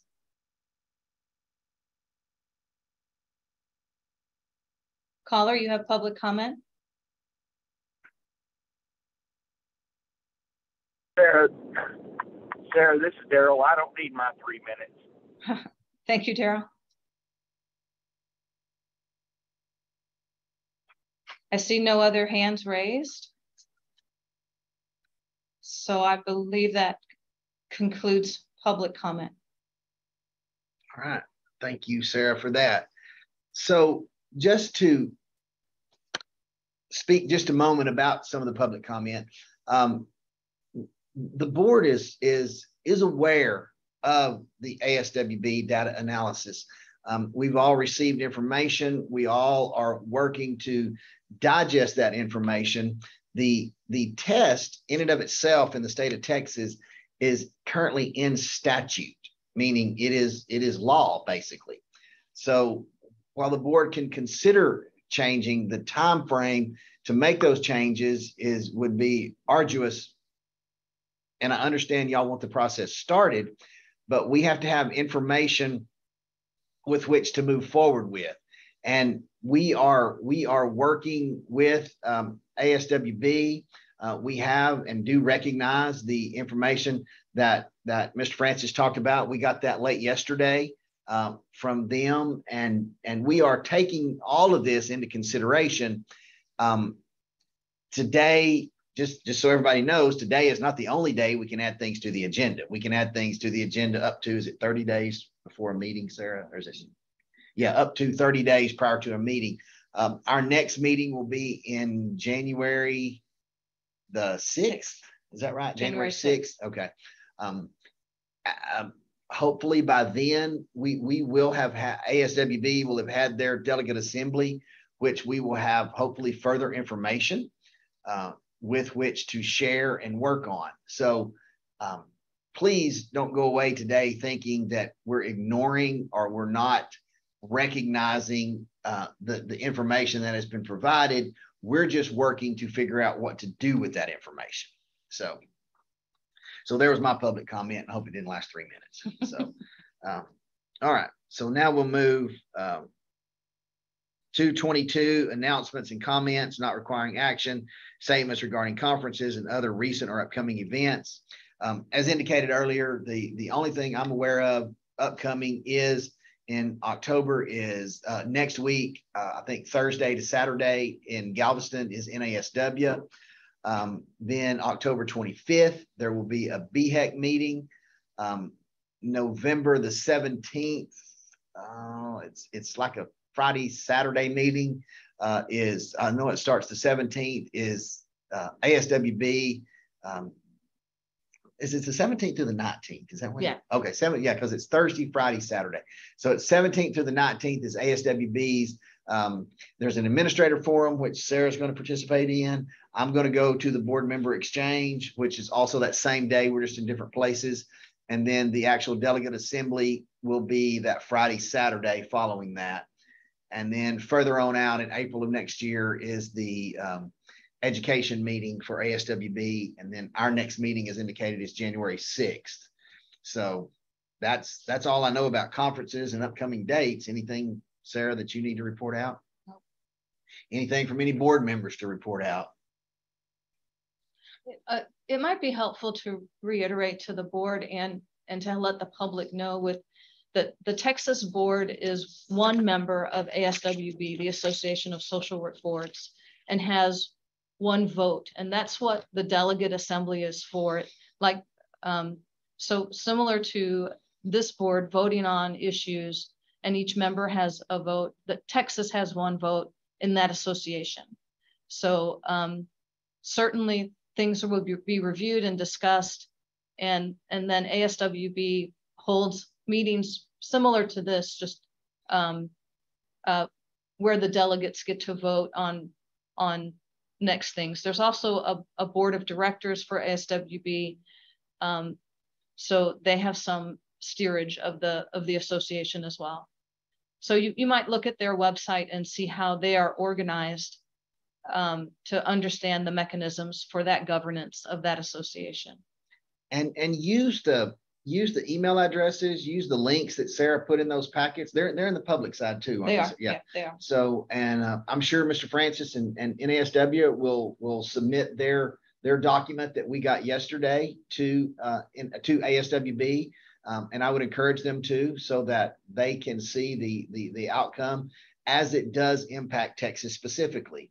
Um, we do partner with with the other states in the United States. Um, can't ASWB also includes the Canadian provinces and the um, I know Guam and American Samoa, some of the other. I don't think Puerto Rico is part of it, but but other other areas. So there's lots of folks. So um, please don't go away discouraged today that you think we're not hearing you. We are, and we want to make uh, an informed decision as best we can. Um, so Dolores has a question. Her hand's up. Oh, yes, ma'am. I, it's more also like a comment uh, regarding what you were saying that I think it's also very, very important for um, the statistics statistics that were shown for people to to contribute and provide information from their own experiences because if we if they don't hear from them it's going to be very difficult for them to make any of those changes that that people are looking for Yes, thank, you, Dolores, for that. So, um, all right, hearing um, any any any other board member have anything that we need to talk about today? Anything for future agenda items? Anything like that? All right, guys. Well, that moves us to um, to to adjournment. We we I, I am actually here with Sarah today in Austin in the brand new building. My first time here. Uh, it's still under construction. I'm going to maybe go check out the lottery division before I leave. They're right next door. So I know where to go now when I win. Uh, so we're in the, we're in this, we're, we're in a lucky place maybe. So um, maybe soon we can have a face-to-face meeting. I don't know what the, what the plan is for that, but hopefully I'll see y'all in person soon. Other than that, I will uh, entertain a motion to adjourn. Make the motion to adjourn. Have that from Martha. I'll second. Second by Ben, and we will, you can adjourn by raising your hand and hitting that leave button, and I'll see y'all in the I future. thank you. Thank Bye-bye. Bye, everybody. Adios. As bad as I thought it was going to be.